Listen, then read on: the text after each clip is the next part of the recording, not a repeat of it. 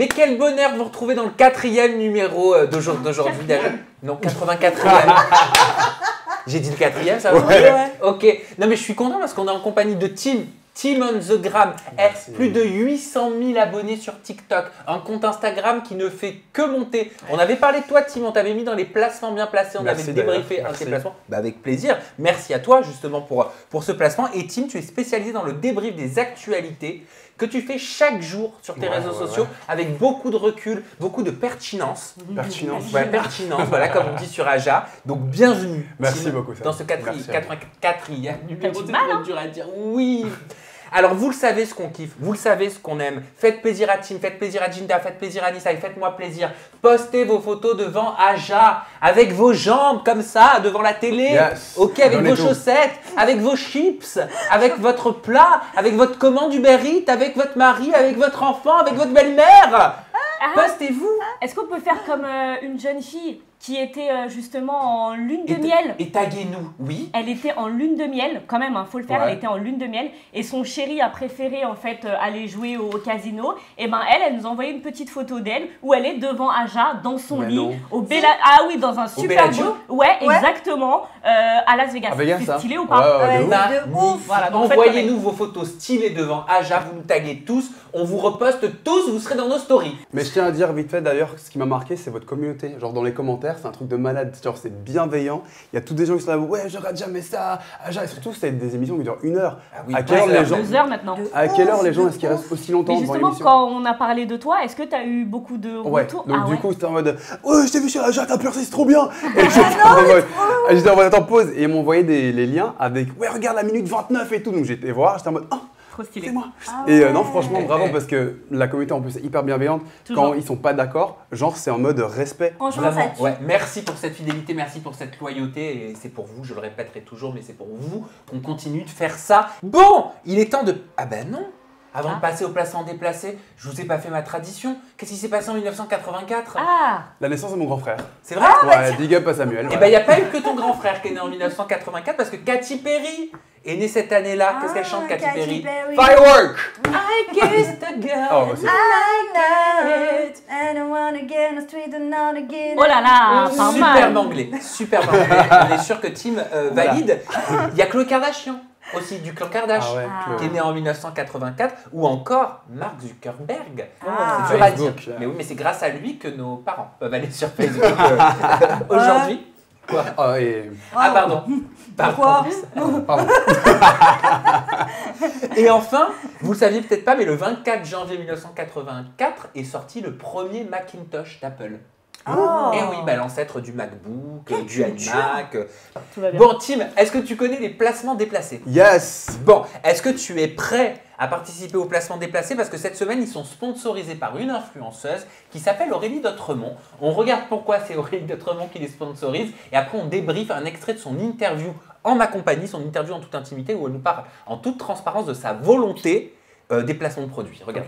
Pour toutes les demandes sérieuses et correctes sans arnaque derrière, veuillez contacter cette adresse mail. Je trierai bien évidemment les demandes et choisira ce que je veux partager ou non. Bon, il choisirait, mais c'est Oui. pas grave. problème, on va pas- on Voilà, va- c'est pas. Non, mais je trouve ça bien. Qu'est-ce Ouais. que tu en penses, toi, de- d'annoncer la couleur, de dire voilà, regardez l'adresse mail professionnelle pour les placements de produits. Je vous annonce la couleur. Même si c'est une agence, je vais tout trier moi-même Mhm. pour pouvoir euh, pour pouvoir valider ou non ce qu'on me fera faire. Je pense que c'est essentiel hein. maintenant. Je pense qu'en 2022, les gens en ont marre. hein. Je pense que Covid, ça a aussi accéléré le, le ras-le-bol des gens. Les influenceurs, c'est bon, on a capté. On veut du vrai, on veut de l'authentique. Et à mon avis, c'est ça que, qui compte. Donc c'est cool qu'elle fasse ça.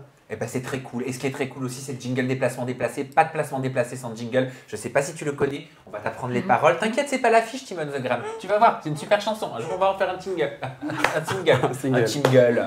Oh, ça c'est autre chose. Allez, 3, 2, 1. Les placements d'EP, les placements déplacés. Les placements d'EP, les placements déplacés. Tombes ta tronche, Tim. et- Ok, ok. Comme ça. You know, you know what I mean, Tim? I got you. Ok, I got you too. Oh. Ok, alors on y va avec le premier placement de produit. Il s'agit d'un placement de Grace Mbizzy la sexy. Oh, maman de Rachel Baby Star. Mais vous la connaissez? Bah Mais on la connaît, mais tu la connais pas? Bah non. Ah bah voilà, Bah, Bah tu, vas la, tu vas la découvrir. Alors depuis tout à l'heure, il y a tout le monde qui me dit mais tu ne connais pas Rachel? Euh, Rachel, pardon. Mais c'est The Star, Grace. Grace, Attends. mais non, je la Euh, connais pas. Ouais. Ah mais j'ai annoncé qu'elle était dans les placements déplacés, mais vous savez pas pourquoi. Alors je vais tenter d'abord de vous faire deviner. Écoutez bien. J'avais fait cette technique-là, rappelez-vous, avec euh, une story d'Hilary. Ouais. Écoutez attentivement à la maison. Tentez de deviner de quel placement il s'agit et après je vous montre la vidéo. Écoutez bien. Je mets dans mes fesses. Attendez. Ah, c'est gros. Ok, c'est rentré dans les fesses. Ok. Tim, une petite idée, une proposition de réponse, t'as ton besoin. J'en ai déjà marre. Euh, Je sais même pas quoi vous dire. Ça fait bizarre cette petite tête d'enfant avec un rire de bonhomme. Je te jure.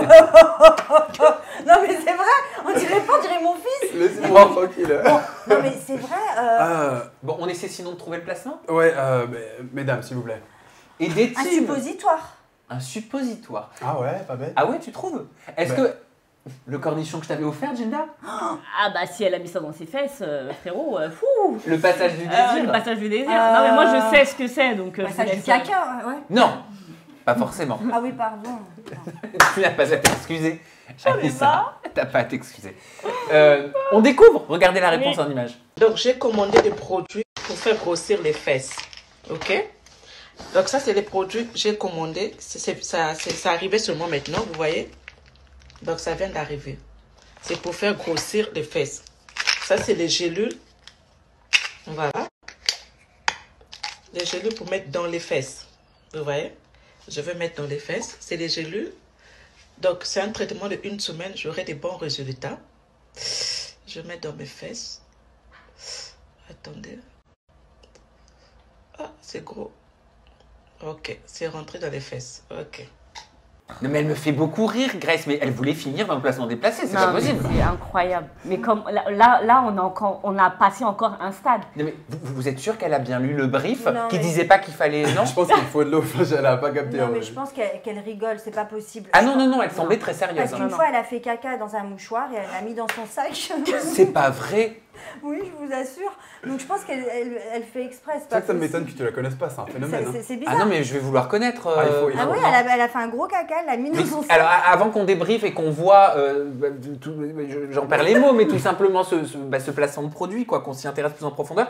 Tim, tu peux me faire un portrait de, de Grace C'est quoi son contenu? C'est quel type d'influenceuse? Euh, c'est une influenceuse mode de luxe. Euh, elle s'habille en, en Versace, euh, en Gucci. euh, il faut que tu vois comment elle prononce toutes ces marques. Et en fait, euh, elle raconte sa vie, la vie de, de sa fille Rachel Baby Star, parce que sa fille, c'est aussi elle a la peau claire. Donc euh, elle est fière euh, Elle, de sa petite Beyoncé à la peau claire, quoi. Et- Donc, euh, Elle s'est fait connaître il y a quelques années parce que, en fait, euh, sa méthode, sa pratique, c'est de se mettre en scène quand elle pleure à la mort d'une célébrité. Voilà, oui. C'est-à-dire qu'il y a des célébrités qui sont malheureusement décédées et tu voyais Grace prendre son téléphone et pleurer. Faut aller voir ça avec de la morve qui coule, avec de la bave qui coule en disant Eh Dieu, Jacques Chirac est mort. Elle Voilà. est excellente. Et hein. je vous jure que c'est véridique. Donc c'est sa spécialité à c'est la sa base. mais spécialité. très intéressant aussi, c'est que Aya Nakamura est jalouse d'elle. Voilà. Ah, Elle a lancé cette rumeur qu'Aya Nakamura, qu'elle a rencontré même Aya Nakamura euh, dans une soirée et que voilà, Aya Nakamura est très jalouse d'elle, la copie. euh. Bah, mais je veux la recevoir, moi, Grace, je suis Oui. désolée. Ah oui. Non, mais je vais me faire clasher, les gens vont dire tu vas mettre en lumière quelqu'un qui fait certainement des choses qu'il faut pas sur les réseaux ou quoi. Mais je, je veux comprendre pourquoi, en fait. Bah non, elle est pas méchante, c'est pas Non. quelqu'un qui J'ai fait pas du dit, mal. hein. dit qu'elle était Non, méchante quand tu me dis euh, les- ils vont, je vais me faire clasher, c'est pas quelqu'un qui fait du mal aux gens. Elle, Ah, alors ça va. Oui, Elle est est- pote avec Cardi B aussi, le téléphone avec elle. Enfin, C'est vrai. Non, mais de vrai. Mais tu la Il faut- il toi faut que tu vois. C'est un personnage. C'est un Elle- personnage. Elle elle s'invente des vies, Grace. Elle est, elle est spéciale. Non, mais quoi. là, là, on est dans un vrai placement de produit. Elle Euh, montre les Moi, produits. j'y crois pas, moi. Alors pourquoi tu crois pas? Et après Jinda, tu m'expliques ce que c'est ce placement de produit et tu vas nous dire bah, s'il y a vraiment des suppositoires ou des gélules à prendre le matin et le soir. Apparemment, il faudrait en prendre 4 boîtes pour avoir un résultat pour faire grossir les fesses. Alors on avait eu le coup des gélules de Sarah Frézou pour resserrer les parties intimes. C'est ça. Là Oh là là. maintenant, apparemment, on se fout des gélules par derrière et paf Ça, fait un. Ouais. Non, mais oh c'est tentant, c'est tentant. C'était- ouais, c'était- Donc Anissa, pourquoi tu crois pas Mais parce que j'ai du mal à croire que ça existe. Non, mais pour de vrai, honnêtement, des, des- des- des gélules qu'on met dans les fesses et ça fait grossir les fesses. Mais elle est où la connerie? Il faudrait acheter, prendre des gélules pour grossir le cerveau dans ces cas-là. Là, ça va plus du tout. Moi, j'y crois pas. Je me dis que c'est un sketch. Jinda, sketch ou pas sketch? Non, pas sketch. Euh, malheureusement, déjà, ça existe. Et, et encore maintenant, c'est au stade de, de gélules. Il y a quelques années, beaucoup en Afrique euh, d'ailleurs, euh, pour se faire euh, grossir les fesses, on, in- on incorporait des, des espèces d'épices aussi, vraiment. Mais dans- par là oui, ou non, par non, là non, par les, par les fesses, il fallait. Oui, oui. Et soi-disant, ça faisait grossir les fesses. Voilà, bon, beaucoup ont eu des, des problèmes suite à ça. Mais là, c'est un vrai placement de, de produit. Pour moi, elle se le met vraiment dans, dans, dans les fesses, hein, son produit. elle teste. On verra si elle va nous montrer un avant-après. Mais voilà. Pardon. Au niveau du site, est-ce que vous l'avez regardé un petit peu le, le site in- internet? Qu'est-ce qui se passe dessus? Alors je vais pas mentir, hein. la vérité, vu que j'y croyais pas du tout, j'ai même pas essayé d'aller plus loin. Moi je me suis dit c'est Grace, je la connais, elle est, elle est pleine d'ironie, elle, elle est là pour faire rire, donc franchement je vais même pas m'attarder sur ça. Concernant les conditions générales de vente, vous savez, c'est notre marque de fabrique ici Ouais, euh, c'est vrai. euh, sur Aja. Ils disent Nous expédions nos colis en France avec Colissimo et lettres suivies remises sans signature. Comptez 3 à 5 jours ouvrables pour la réception de vos colis. Mais ils disent aussi Ne passez pas commande de dernière minute. S'il vous plaît, veuillez nous donner le temps de vous assurer de recevoir vos produits avant tout événement important. Je trouve ça drôle. Genre, si tu veux avoir un, un gros, euh, un gros popotin avant un mariage, ne t'y prends pas à la dernière minute. Euh, Parce que c'est une cure apparemment. ben oui, oui, parce qu'ils disent Ah, c'est une cure. Oh, Oh non mais là c'est bon, c'est Ah, un bon. punchline. le truc. Non mais voilà, il faut quand même prendre 4 boîtes pour avoir un, pour avoir un résultat. Combien j'ai eu la boîte Euh, je sais pas combien de, combien de j'ai vu d'ailleurs. Matin et soir, ils préconisent. matin, matin et soir en tout cas, mais euh, pardon, euh, on n'est pas sûr de ce qu'il y a dans les, dans les produits, même si le site dit que c'est un produit naturel. Qu'est-ce qui nous prouve Mais c'est- alors après, moi, ce que j'ai vu, c'est qu'ils se disent en rupture de stock sur le site, mais il n'y a aucun avis. Il n'y a pas d'avis. Il Voilà, c'est ce que j'ai relevé. Je me suis dit, tiens, rupture de stock, si t'es en rupture de stock, logiquement, c'est qu'il y a tellement de gens qui l'ont acheté, donc plus de probabilité d'avoir des retours. C'est une stratégie marketing aussi. Hein. T'as peut-être 6 rupture de stock. pilules et puis.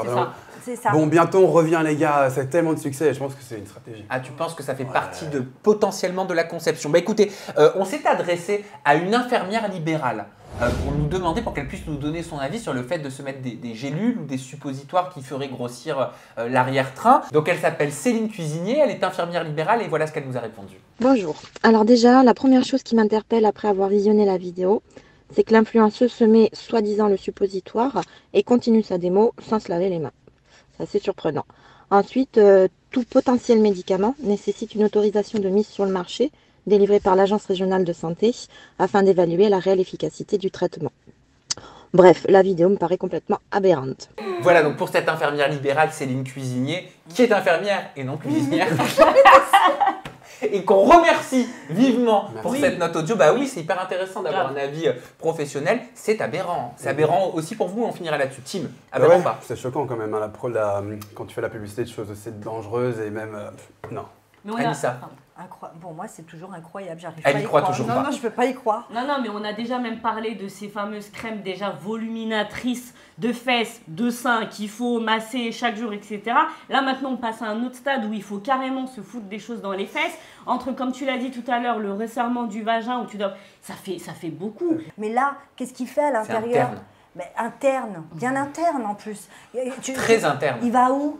Le truc, il fait quoi? Pourquoi? Le sang, pourquoi ça fait quoi? Pourquoi ça grossit? Moi, j'aimerais bien avoir tout Non, ça. Grace, avoir là, un médecin qui, là, nous, Grace, qui nous c'est pas explique. Un médecin qui nous explique comment le processus qu'il va y avoir après ce truc dans les fesses. Non, mais c'est vrai, c'est important. vrai. Voilà. Voilà, mais comme une plante, voilà. Voilà. Bref, on va finir là-dessus. On passe tout de suite à un deuxième placement déplacé ou pas. Euh, vous allez nous tenir informés. Et j'en profite pour vous rappeler que si vous souhaitez euh, aider la communauté des influenceurs ou certains influenceurs à s'améliorer parce que vous estimez que vous êtes tombé sur un placement qui, selon vous, est frauduleux ou alors n'est pas dans les règles, n'est pas dans les codes, vous pouvez tout simplement aller euh, le renseigner sur le site du gouvernement qui s'appelle signal.conso.gouv.fr. Je finis par le connaître par cœur. On va passer tout de suite à un nouveau oui, placement va. euh, euh, de produits. Et attendez, quoi Qu'est-ce que tu fais Ben, réaction. J'essaie de fermer mon jean. J'essaie de fermer mon jean. Ah. Mais oh là là, j'y arrive pas. Ah. On dirait les mecs dans les bois là. Je me serais pas T'as jamais vu les mecs en imperméable Ah, moi j'ai jamais vu ça. Mon dieu, il te psst. T'as déjà vu ça toi? Bah, tu faisais dans les bois, toi sûr. Bah, dans les bois, je vais cou. Ça dépend, ça te regarde pas. Bah je comprends pourquoi ça fait 7 ans que t'es abstinente. Hein. Ah ouais, j'ai j'ai tellement. Ah, très honnêtement. Non, arrêtez de dire n'importe quoi. Il y a mon fils qui regarde, faut arrêter les bêtises. Il y a mon père qui regarde. Ok. Je vais dans les bois pour courir, bois de Vincennes. Mais j'ai rien dit moi. Non, non, là, je vais Bah, m'énerver, là, je oh. transpire de la moustache. Non, je voulais juste, Je voulais juste te dire que moi, ça m'est arrivé plusieurs fois que les mecs, ils font eh, et après ils ouvrent leur Oh truc. là là, et ça, ça m'est arrivé à Arge- Argelès. C'est une agression sexuelle. Oui, grave. à Ouais. l'époque, c'était euh, on lui courait après pour le frapper, mais aujourd'hui, j'aurais porté plainte. Maintenant, il faut faire la technique, on en avait parlé euh, sur Jara. La dinde. Mais Mais c'est le le dindon. souvent, ça, mais bien Le sûr. dindon. Je lui fais pareil. non, mais toi, avec toi, ils doivent avoir peur. Ouais, grave, je... Voilà. euh, Attention, ton dos. Alors, comme elle a mal au dos. Oh Oh là là là, là. merci, t'es un amour. Qu'est-ce qu'il est gentleman. Ouais, il est très gentleman. Ce Timon Non, mais Crown. j'avoue, calme-toi aussi. Euh, moi, elle a fait des crises de On jalousie. découvre le placement ou pas Bien sûr. Tim, ton avis, le vôtre aussi, hein, mais euh, Tim, euh, ton avis m'intéresse un peu plus que celui des filles. Sur celui-ci. Voilà, toujours pareil. Regarde. courte les amis, on va prendre l'exemple de ce pantalon. Euh, je démarre mon challenge aujourd'hui, donc on verra euh, les prochains jours, les prochaines semaines comment ça va se passer. Ce que je sais juste c'est que ce pantalon, je n'arrive plus du tout à le fermer. Voilà, c'est c'est bloqué. Donc euh, je vais euh, tout faire en sorte pour euh, bah, tout simplement régler cette situation et voir l'évolution. Ah bah c'est bloqué, hein. C'est bloqué, Tim. La pauvre. Il faut régler cette Une minute situation. de silence pour elle parce qu'apparemment elle est dans une détresse euh, incroyable. Non, mais après, alors, soit ça fait beaucoup rire sur les réseaux sociaux, et nous, ça nous fait rire. Mhm. Moi, ça me fait rire, rien de méchant là-dedans, on est d'accord. Moi, je trouve ça très drôle. Mais c'est vrai qu'il y a toute une team sur les réseaux sociaux qui a tendance à dire Mais, mais, mais, mais, mais, mais tu peux le fermer, en fait, ton jean Mais il a de la bonne volonté Elle aurait dû prendre au moins le jean de sa fille. Ah. Là, c'est sûr qu'elle aurait eu du mal à le de, de Ruby. Alors, comment tu vois, toi, si tu tombes sur les réseaux sociaux, Tim, avec ton œil d'influenceur, comment tu vois ce type de placement de produit? Ben, rapidement, elle essaie de faire la promo de quoi là? Elle essaie de faire la promotion de repas minceurs, de substituts de repas.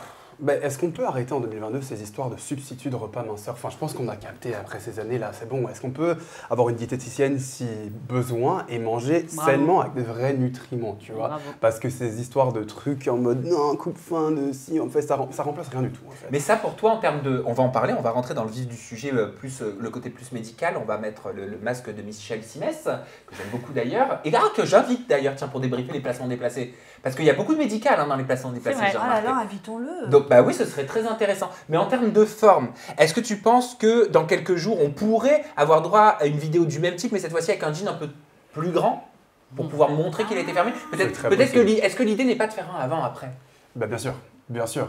Et pour prouver que le produit marche incroyablement, c'est le produit miracle qu'elle avait attendu toute sa vie et qu'elle utilise tous les jours maintenant parce qu'elle a reçu et bénédiction du ciel. Et Tout fait- à fait. Après, certainement qu'elle aurait été très serrée dans le jean, faut pas se leurrer non Oui, plus. enfin, Elle avait bon. serrée. Non, arrête. Mais je pense que c'est Jinda, elle en avait parlé une fois. Eh oui. Elle avait dit. Elle Tu avait t'avais dit quoi, Jinda? Bah, j'ai dit que euh, tous ceux qui faisaient la promotion justement de ce genre de produits minceurs ne montrent jamais d'avant-après. Que ce soit sur la balance, que ce soit sur les Mmh. vêtements. Jamais ils se filment en disant Bah, mon poids de départ c'est ça, je commence euh, tel euh, produit et vous verrez que dans deux semaines je ferai euh, moins de kilos. Son pantalon, elle, le- elle, elle arrive très bien à le fermer. Elle a même pas essayé, hein. vraiment. euh, voilà, elle savait très bien. Et elle nous a pas montré son poids de départ parce qu'on s'en fout on- aussi de ton, de ton pantalon parce que peut-être que euh, la semaine prochaine ton ventre il sera moins euh, ballonné, peut-être qu'elle venait d'avoir ses règles et que Mais il n'y a ventre- pas que le poids. Des, Oui. fois, on se, pas le- des fois, on se pèse pas et c'est uniquement dans les vêtements qu'on se sent plus Mais un mètre ruban, tu vois, en mode mon tour au de. moins le ruban, exactement, pour voir le tour de taille. Mais Ah, là, ouais. dans quelques jours, en plus elle dit pas dans combien de temps.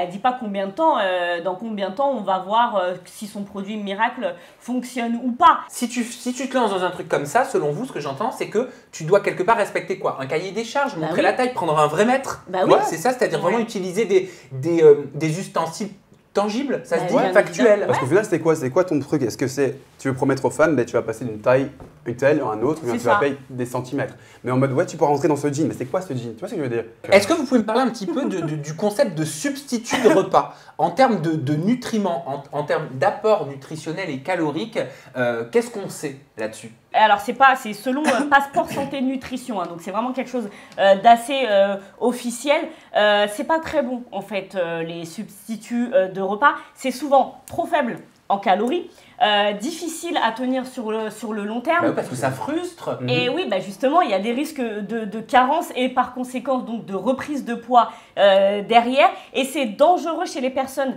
vulnérables. Ça peut créer des comportements alimentaires obsessionnels. Oui. C'est flippant hein, ce que je suis en train de lire. Et euh, euh, Passeport Santé Nutrition euh, indique aussi que la consommation des substituts peut provoquer des crises d'excès alimentaire pour combler des besoins psychologiques et l'absence de plaisir Ah, gustatif. C'est totalement vrai. C'est flippant. Non mais c'est to- totalement vrai. Je sais pas qui l'a vécu autour de la table, qui a déjà fait des régimes ultra restrictifs. Moi. Moi aussi.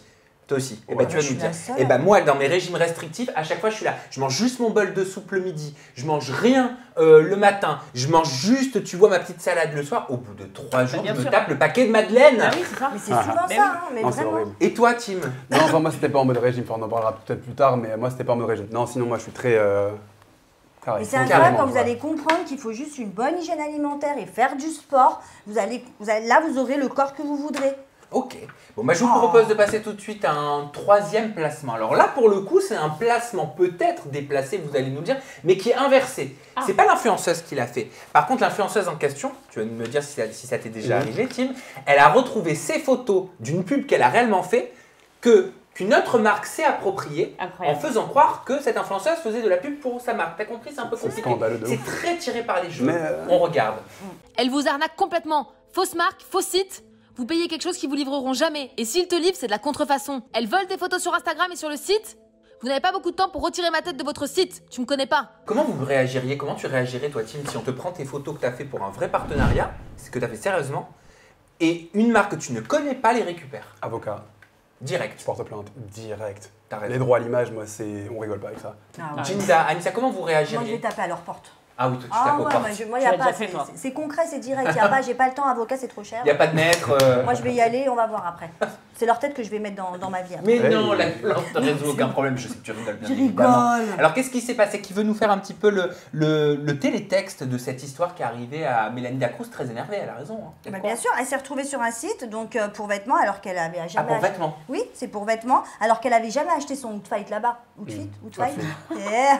Ou tu demande à Tim, c'est lequel là. Outfit. Outfit. Ah Non, non, Redis-lui, vas-y. Un outfit. un enfin, un enfin. Non, non, non, mieux. Non, Anissa. essaye, fais un Ah effort, non, hein. Fais-lui un vrai cours, Tim. Allez, vas-y. Outfit. Out, outfit, There you fête, comme la fête. Pas fête. Fête. D'accord. Outfit.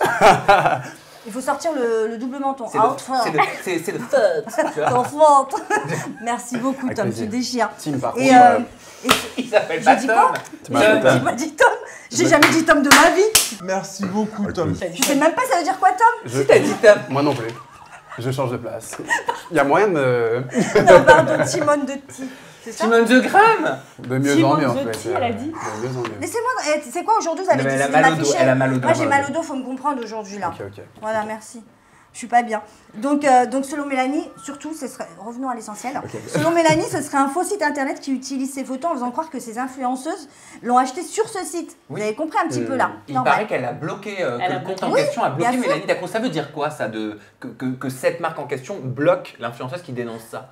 Bah, elle croit qu'elle va pas avoir de problème en fait.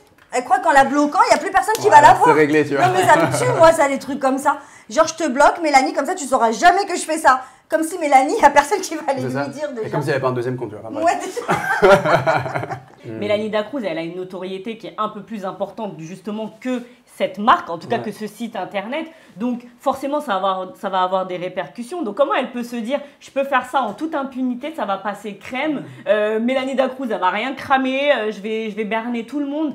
C'est pas possible. C'est impossible. Bah non, et en plus elle se laisse pas faire Mélanie Dacruz. Elle prend ses, ses stories, son téléphone et elle dit tout ce qu'elle pense et elle a bien raison. Moi, vous savez ce qu'on m'a fait?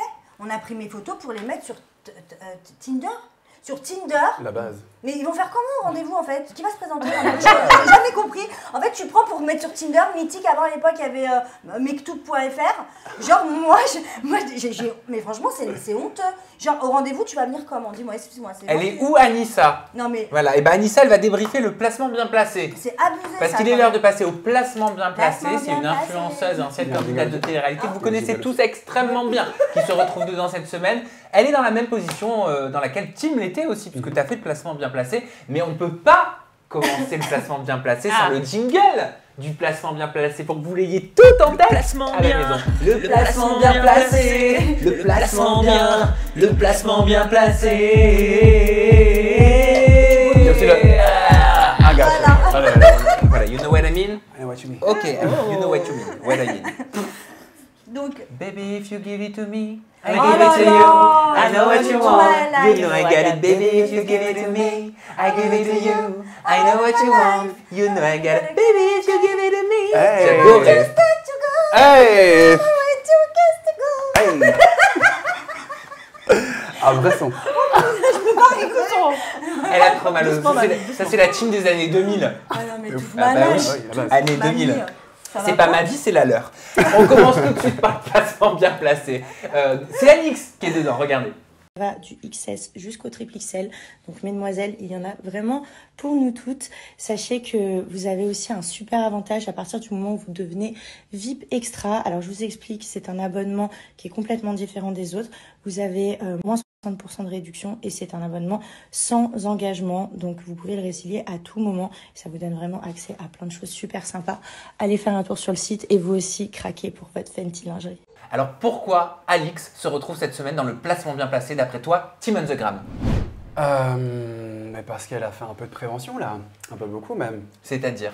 Mais c'est bien parce qu'elle a. En fait, c'est ça le, le taf des influenceurs, pour moi en tout cas. Parce que moi, je vais, je vais vous avouer, j'aime pas qu'on m'appelle influenceur à cause de ce que tous ces gens dont on a Bien parlé ont fait de ce terme-là. Donc moi, j'aime pas, j'aime pas ce terme. Mais là, c'est ce qu'un influenceur doit faire en fait. Faire de la prévention, être transparent. Et quand je travaille avec des marques, vite fait, par exemple, c'est des marques de, de parfum ou quoi, ben moi, je leur dis directement, si j'aime pas, je le dirai. Ok. Si je fais Et une review, je le dis. Et certainement que Tim dit ça parce que Alix a parlé en toute transparence de l'abonnement. Elle a même fait un texte. Anissa, vas-y.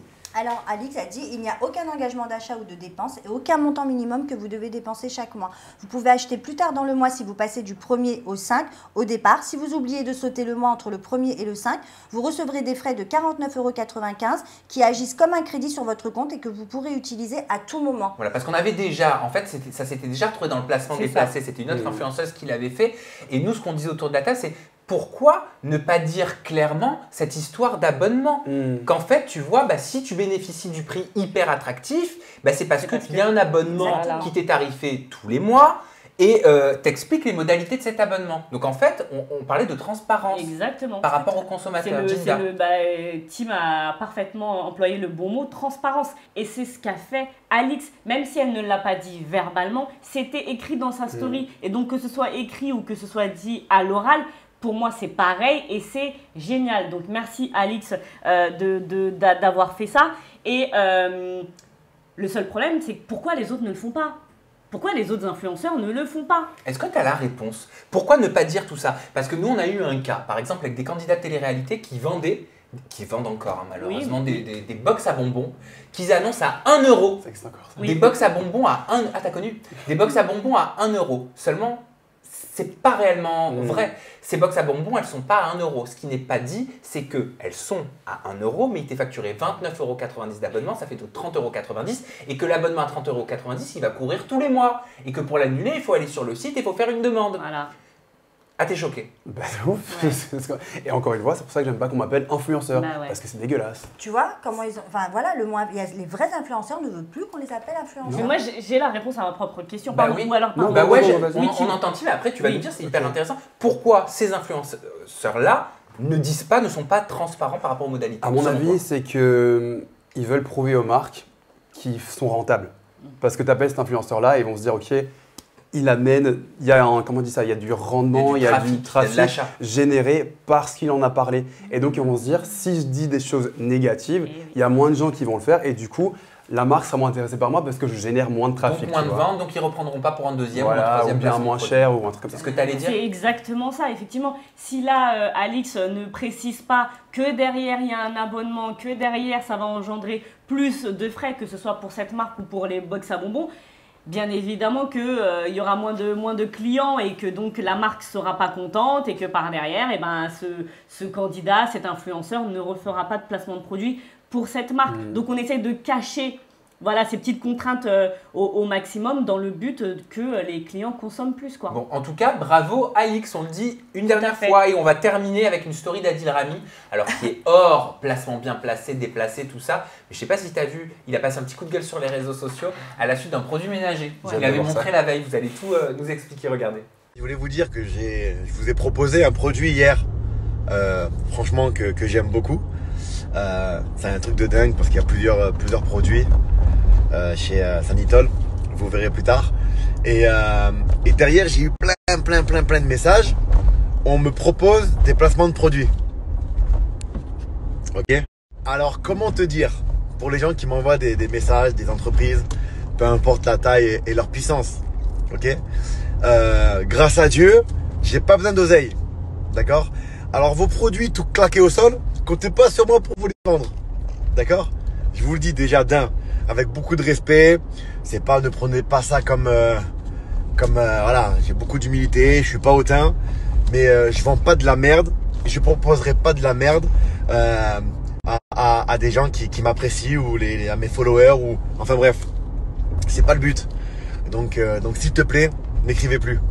Ok Alors, il a vraiment fait un placement pour un produit ménager Sanitol, c'est ça? Ouais, c'est ça. Il a fait une, euh, une photo, euh, il a posté une photo euh, sur Instagram avec un, un maillot de foot qui renifle où il dit euh, saison après saison, mes maillots collector sont toujours au top grâce au désinfectant du linge Sanitol. Voilà, merci Sanitol. D'ailleurs, c'est vrai, ça sent super bon. Ouais, Elle veut un Ouais, placement ouais, pour non, non, je veux pas un placement, Ah mais non bon, après, oui.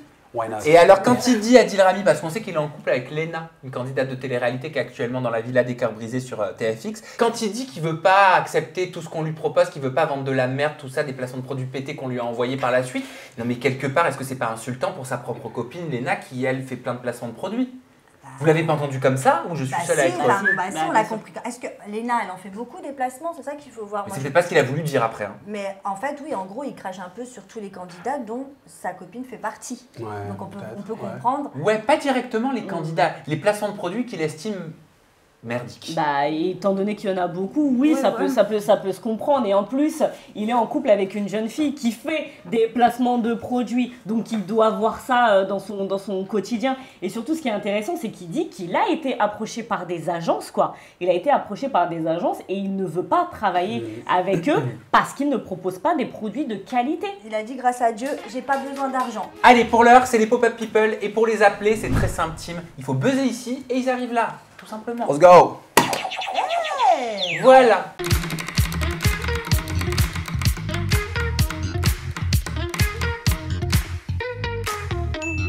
Et vous allez sur YouTube là, vous tapez Michou, ça existe plus, j'existe plus les gars.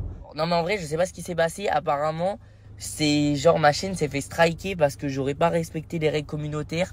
Trop bizarre. Bref, j'ai envoyé un message encore une fois euh, au mec de YouTube et tout. On va voir ce qui se passe euh, si j'ai des nouvelles. Les frérots, pour vous donner un petit peu des nouvelles, euh, vous inquiétez pas. En gros, c'est une erreur qui a été faite de la part du robot parce que moi, en soi, j'ai rien fait de mal. Sauf que je me suis fait hacker et les lives qui ont été faits sur ma chaîne par le hacker, eh ben, ils sont pas conformes aux règles YouTube. Donc euh, YouTube, ils ont pensé que c'était moi. Tu vois, le robot, il a détecté que sur ma chaîne, il y a eu des lives pas conformes. Du coup, il a supprimé les lives. Du coup, j'ai pris plein de strikes d'un coup et je me suis fait bannir. Let's go Je suis de retour Je suis de retour Merci, merci, merci. Merci les gars. Let's go. J'ai récupéré ma chaîne YouTube. J'ai récupéré ma chaîne. Mais pourquoi elle a été supprimée, sa chaîne YouTube? Qu'est-ce qui s'est passé? Bah des, c'est des hackers, j'allais dire hackers, j'en peux plus. des hackers qui ont réussi à prendre le contrôle de sa chaîne. Ils ont publié des contenus contraires aux règles de la plateforme. Donc pourquoi On ne sait pas, mais selon Numérama, les hackers passent le plus souvent par un premier email de proposition. euh, de Ah, le phishing. Oui, le phishing, exact. ça s'appelle. Voilà. Quand tu reçois un email, il faut surtout pas cliquer dessus. Voilà, tu sais, a- genre, euh, excuse-moi, je te coupe, mais genre, euh, euh, tiens, regarde, t'es dans cette vidéo. Ouais. Vous avez jamais Mais, reçu mais des trucs comme ça sûr, Ouais. plein de fois, mais hey, Ah, tu peux pas la faire à La base. je, je- je clique jamais, je connais. Ah, mais moi non plus. En fait, il y a euh, les abonnés de Michou qui ont reçu une, euh, une notification pour lui dire qu'il était en live sur. YouTube. Sauf que lui, il s'est dit, bah, j'ai pas lancé de live, Mm. donc euh, c'était c'était un peu bizarre. Donc euh, il est allé voir et en fait, c'était euh, tout avait été modifié sur, euh, sur sa chaîne. Donc c'était plus la même bannière, c'était plus sa photo de profil et on tombait sur un live d'Elon Musk. Oui. Voilà. Qui parlait du bitcoin, qui parlait de la crypto-monnaie. Ça. Ah oui, un truc de malade. Au Ouais. départ, je crois qu'il il devait croire Michou qu'il y avait un lien. Il, je l'avais vu dans une story, il disait Mais qu'est-ce qui se passe? C'est une dinguerie ce qui fait Elon Musk et tout, machin. C'est tout ça. ça. Alors en fait, ce qui s'est passé, c'est que les hackers, eh ben, ils ont enlevé les administrateurs de la chaîne quand ils ont pu prendre le contrôle de la chaîne. Donc ceux qui travaillent avec Michou n'y avaient ont- plus accès. Ils ont hacké son administrateur en fait. Voilà. Lui. Mais, mais ils ont enlevé en fait les adresses mail de ceux qui pouvaient gérer la chaîne. ça. Ils ont gardé que eux le contrôle sur la chaîne. Résultat, tant que YouTube ne faisait pas une action, ça a duré, ça a été très court, hein, ça a duré 24 heures même pas. Ils ont pu prendre ce contrôle-là et ils savaient pertinemment qu'en faisant ce faux live d'Elon Musk qui parlait de crypto-monnaie et de Bitcoin, qui est beaucoup pointé du doigt en ce moment. Il y a beaucoup d'arnaques aussi autour oui. de Ah, ça. bien sûr. bien Voilà, sûr, bien sûr. YouTube est intransigeant. Et moi, j'aime YouTube pour ça. Ouais. Mais concrètement, vraiment, YouTube, ils rigolent pas. Ça, YouTube, ils aiment pas. Les arnaques, ils aiment pas. D'accord Ouais. Donc là, tout de suite, ils ont mis un terme. Donc en fait, les hackers ont réussi à aller euh, à avoir ce qu'ils voulaient. Oui, parce qu'en fait, ça, ça a donc lancé euh, un live avec un faux jeu concours où en fait euh, tu euh, dois envoyer de l'argent en crypto et euh, en te faisant croire que tu vas gagner le double. Donc ça veut dire que les gens envoyaient de l'argent en crypto en se disant eh ben voilà ben moi je vais gagner euh, je vais gagner le double de ce que de ce que j'ai euh, j'ai mis et donc comme tu l'as dit donc euh, YouTube a détecté que les règles communautaires de leur euh, plateforme n'étaient pas respectées et ont donc euh, mis fin euh, à tout ça. quoi. Il a dû être dans un état. T'imagines, Ouais, toi, tu perds ton compte TikTok? Déjà, alors à mon échelle, ouais, mais Michou, il à un empire, quoi. 7,3 ouais. Sept- ouais. Trash. En gros, En plus, c'est argentin, quoi. C'est incroyable. Mais oui, il m'a fait de la peine, moi, sur les stories. Ah, Ah ouais, mais j'ai vu. Et il y en t'as- a t'as un pleuré. autre. Ah, j'ai vécu le truc. Il y en a un Ouais. autre qui s'est fait euh, hacker aussi qui s'appelle euh, Thinkerview. J'ai vu. Voilà, donc lui aussi il a un million de personnes hein, sur sa chaîne. Ils ont Et écrit à alors, YouTube, ouais. Ouais, à l'heure où on tourne, euh, eux n'ont pas encore euh, retrouvé, euh, retrouvé leur, leur chaîne et eux c'est la deuxième fois qu'ils se font hacker par le système que, dont tu as parlé tout à l'heure. Et euh, pour le coup là c'était euh, pour, Michou le coup c'était euh, ah bah on voudrait faire un partenariat avec vous. Voici notre site internet. Allez jeter un coup d'œil. Et il y avait un lien et l'administre et l'administration Jamais de la vie, je vous en avais déjà parlé. Moi, quand le mail il est pas carré du partenariat de machin, je clique sur rien, je ne l'ouvre même pas. Mm. Bah. D'abord, je vais vous dire, je suis atroce moi. Je regarde les premiers mots. Les premiers mots ils me plaisent pas. Ciao. Mais La- Ah mais les premiers mots, je, même pas, je clique même pas, je vois ces poubelles et je vide ma corbeille en plus tout de suite. Ben ouais. Et vous savez à quoi je le vois? Quand je vois par exemple, non mais j'ai reçu ces trucs. Oui, nous aimerions vous faire faire une campagne pour Levis, pour Diesel. Sur le coup, tu te dis génial, je vois les premiers, mais je regarde l'adresse mail, mais c'est pas @levis.com. Bah ouais. Direct, allez va te faire, ciao poubelle. Ouais, Il y a même des faux mails Amélie de la, de la sécurité sociale et tout ça. Ouais. Mais bien sûr, je crois que je les ai pas cramés. Va me la faire à moi. Non mais c'est vrai, hein, vraiment, il y a des trucs, des trucs de fou. Ils sont capables de tout pour que tu appuies dessus. Ah, tu cliques et t'es foutu, tu perds tout, tu perds La nouvelle compte. tendance aussi en ce moment, c'est euh, par, euh, par message. C'est on t'envoie un message. Vous avez jamais reçu un Si, texto de si. la poste, par exemple, Ah, disant ouf. que Si. euh, un colis doit arriver euh, Ouais. chez toi, mais il manque l'affranchissement. Ou alors même des faux courriers des impôts, moi j'ai déjà reçu, Bah qui me disent vous n'avez pas payé votre machin. Mais, mais comment ça j'ai pas payé? Alors moi bah, je suis au carré avec ça, je suis tellement stressé que je peux vous garantir qu'il y a tout qui est comme ça qui est classé. hein. Et euh, je me suis dit c'est pas possible, Alors, ça m'inquiétait, je me disais mais c'est quoi ce truc et tout? Et en fait quand tu regardes de plus près et que tu fais tes recherches, c'est pas du tout les impôts. Et, oui, Ouais, j'en voilà. avais, mais bon, j'ai la flemme de chercher. Mais franchement, j'ai que des messages. Et le dernier truc encore aussi à la mode, c'est les amendes, les, les stationnements sur Paris. On reçoit aussi des fausses, euh, donc faites très attention. Là là, tu reçois des fausses amendes et on te donne un lien où payer ton amende. Et c'est de l'arnaque aussi.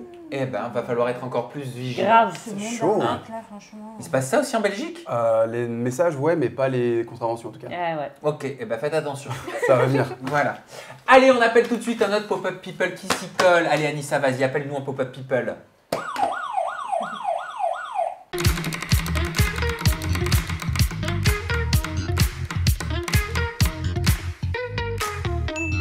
Depuis 2-3 jours, un compte Instagram fait tourner des photos de moi nue. Alors ce sont des montages, ils prennent ma tête et la collent sur des corps de nana nue, très facile à faire sur Photoshop.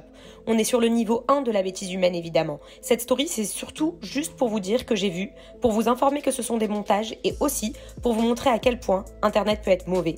Faites attention à vous mes puces. Le seul montage photo que j'accepte. En pleine réflexion à retirer mon voile, turban, appelez ça comme vous voulez. C'est trop pour moi, ça fait des mois que j'y pense, ma patience a atteint ses limites. Je suis tellement triste, si seulement vous saviez. Mais au moins, on ne me parlera plus de ma religion, de ce que je dois faire, pas faire, c'est haram, pas haram. C'est honteux d'être voilé sur les réseaux sociaux. La tristesse a pris le dessus sur le bonheur. Je n'ai plus de force, je suis écœurée. Je n'ai pas la force psychologique de me battre pour mon fils et pour mon voile. Ça fait trop de combats, je baisse les bras. Que Dieu me pardonne, que mes sœurs qui me prennent comme exemple me pardonnent.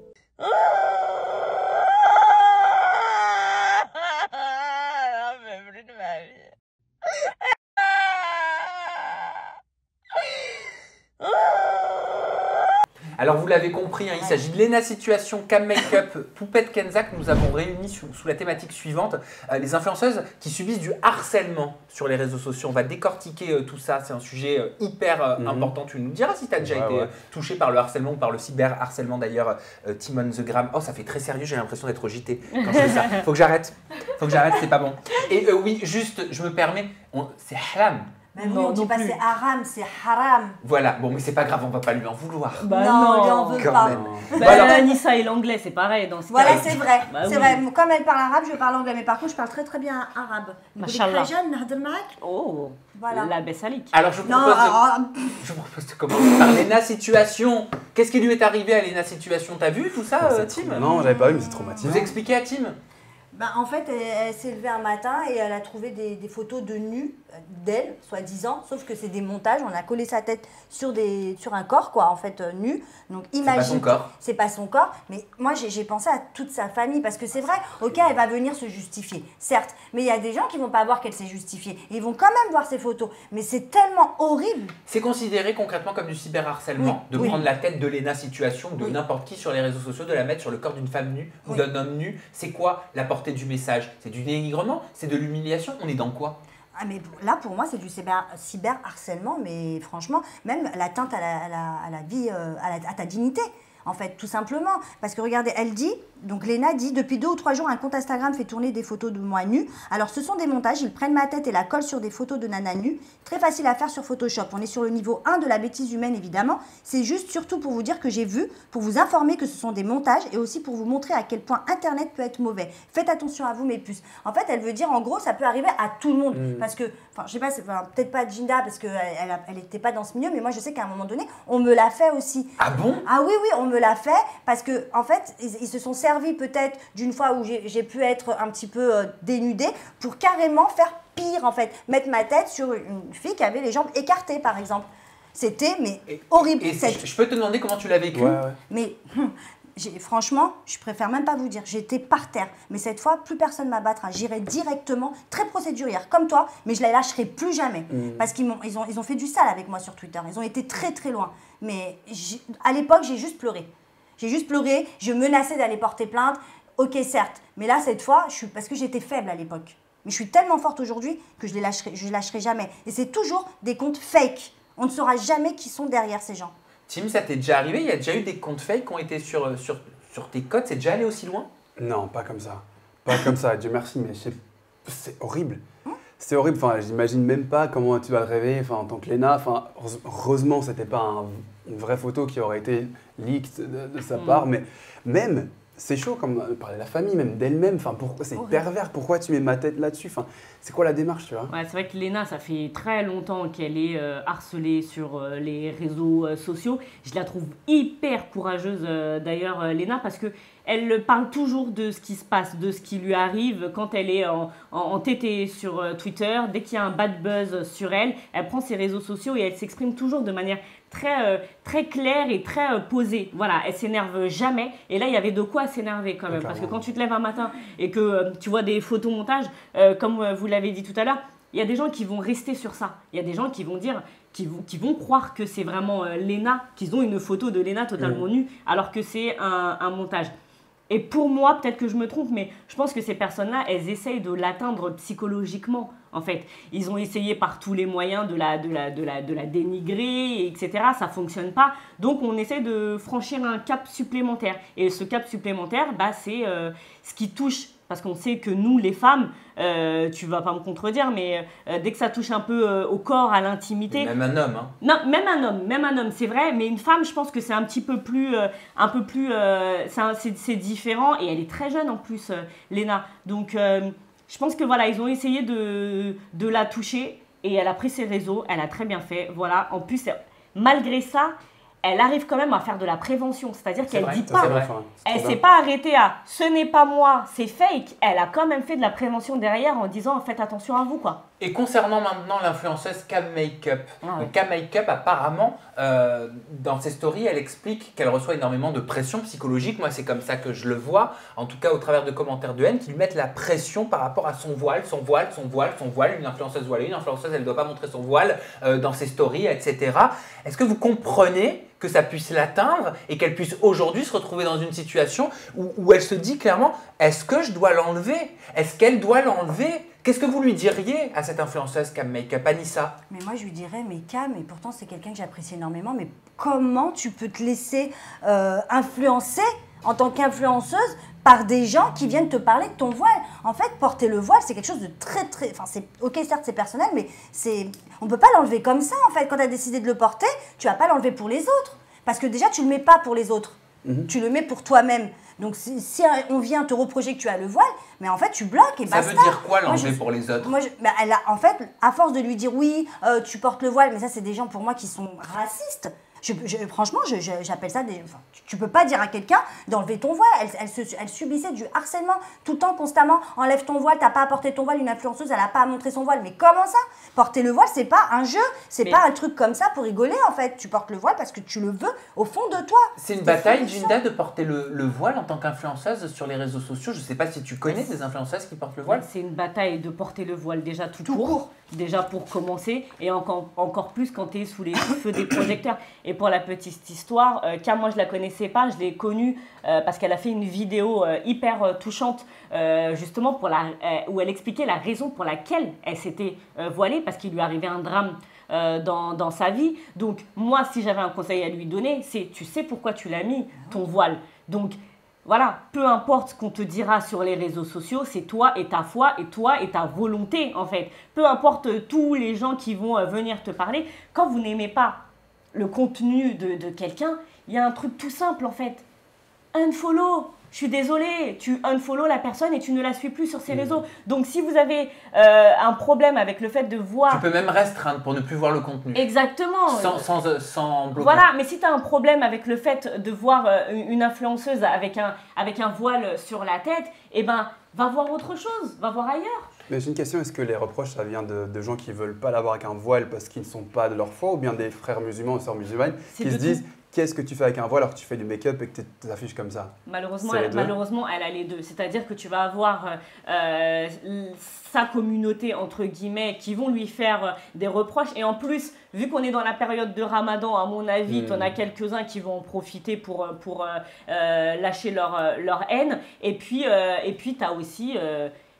Peut-être que je dis n'importe quoi, mais c'est vrai qu'on est aussi en, en période d'élection euh, présidentielle. Donc euh, le Ça voile, joue. ça joue, je, je pense, hein, ce n'est que mon avis. Mais euh, voilà, le voile, c'est mal vu C'est un en sujet France. de débat, malheureusement. C'est un gros sujet, c'est un gros sujet de débat. C'est mal vu en France et donc quand on la voit, euh, quand on voit cette jeune femme euh, sur les réseaux avec un avec un voile là en pleine période de Elle présidentielle, se retrouve être malgré elle la cible de débat Incroyable. et de récupération même politique. C'est parce qu'ils l'ont connu sans voile, en fait, Cam Makeup. Donc, du coup, ça les a choqués. Après, peut-être. Et alors mettent- Moi, on m'a connu avec des mèches blondes, aujourd'hui Voilà. ai pas, mais qu'est-ce qu'on s'en fout Ce que je veux dire, c'est qu'on diabolise le voile et je ne, je ne comprends pas. Je ne comprends pas pourquoi on, on- on diabolise comme ça le voile. En quoi ça dérange qu'une personne porte le voile? Est-ce que ça va changer le fond de son cœur? Est-ce que ça va changer ses convictions, ses valeurs, ses principes? Je ne comprends pas. Je Mhm. tu la regardes pas. pour un contenu. Ce que tu j'allais vas- dire, est-ce que son voile détermine son contenu? Ben non. Ben non, ça t'a- donc c'est pour ça, je trouve ça dommage qu'elle ait, pu- qu'elle ait, ait pu écouter ce genre de personnes qui critiquent de toute façon, peu importe pour Eh n'importe ben voilà, bah laissez-la voiler, arrêtez de vous voiler Ben la oui. face. Oh, On passe tout de suite à Poupette Kenza. Poupette, Poupette Kenza en pleine crise de larmes. La vidéo, elle est quand même. je- moi, mais moi, quand j'ai vu, ça m'a fait mal.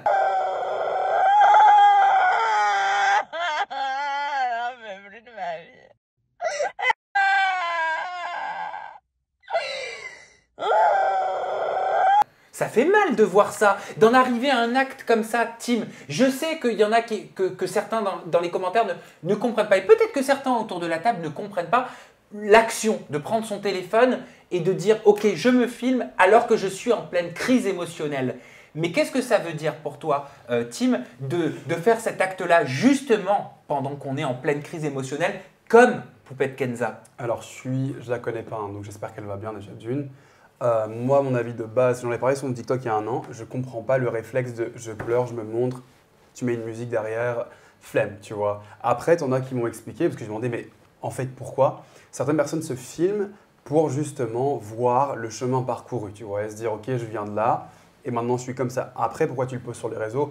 Une autre question, après, si elle subit du harcèlement, qu'elle dit, mais regardez où vous m'en avez si, où vous m'en avez emmené, vous m'avez emmené. Ok, mais j'arrive pas à la démarche. Enfin, moi, je. Anissa, Alors pour répondre à ta question, elle va très bien. Elle vient de faire visiter euh, la grande maison qu'elle vient d'avoir. Alors moi, j'ai rien contre Poupette Kenza, il n'y a pas de problème. Ça peut faire mal au cœur, j'ai un cœur comme tout le monde. Mais à un moment donné, euh, Poupette, elle fait, c'est scandale sur scandale. C'est étalé sa vie. Récemment, elle a- nous a quand même montré des pertes, enfin, de- de- de- dans son pantalon. je crois que si je ne me trompe pas, que c'était pour montrer euh, l'impact sur son corps, Non. de tout ce qu'elle subit justement. Non mais Sam, elle a déjà subi avant. Tu ne peux pas continuer. En fait, elle met, elle met en Mais la faute à qui La fa- faute à la personne qui montre les pertes qu'elle est en train de subir ou la faute aux personnes qui te, qui te poussent à bout parce que tu montres les pertes que tu es en Non, train de mais a subir? Tu des- tues personne quand tu montres Non, ça. tu tues personne, mais il y a des gens qui. Je, je te parle de ça parce que c'est des proches à moi qui l'appréciaient, mais grave, ils la suivaient. Mais à un moment donné, ils en peuvent plus en fait. Elle, elle est trop dans le drama. Tout n'est pas toujours logique dans Alors ce qu'elle ça, c'est par rapport au contenu. Le contenu, on peut adhérer, ne pas adhérer, apprécier, ne pas apprécier. Oui. Mais je sais pertinemment que tu ne cautionnes pas un seul instant Ah non. le harcèlement qu'il peut y avoir derrière. Pas du tout, je ne cautionne pas, mais je dis juste que parfois, Poupette Kenza, mais tend le bâton pour se faire battre. Mais vraiment, il y a un moment donné, quand tu as déjà subi de l'harcèlement, quand tu sais par quoi tu es passé, tu, essayes d'un petit peu de moins montrer ta vie, de, ne pas donner à manger à, finalement à ces bouffeurs de chair. Parce que oui, il y en a des gens qui sont là tout le temps à vouloir taper sur les autres, sur les réseaux, on le sait, le cyberharcèlement. Je- J'en ai été victime. Mais à un moment donné, il faut aussi raisonner, elle a une famille. Ça, veut dire que ça peut impacter sur...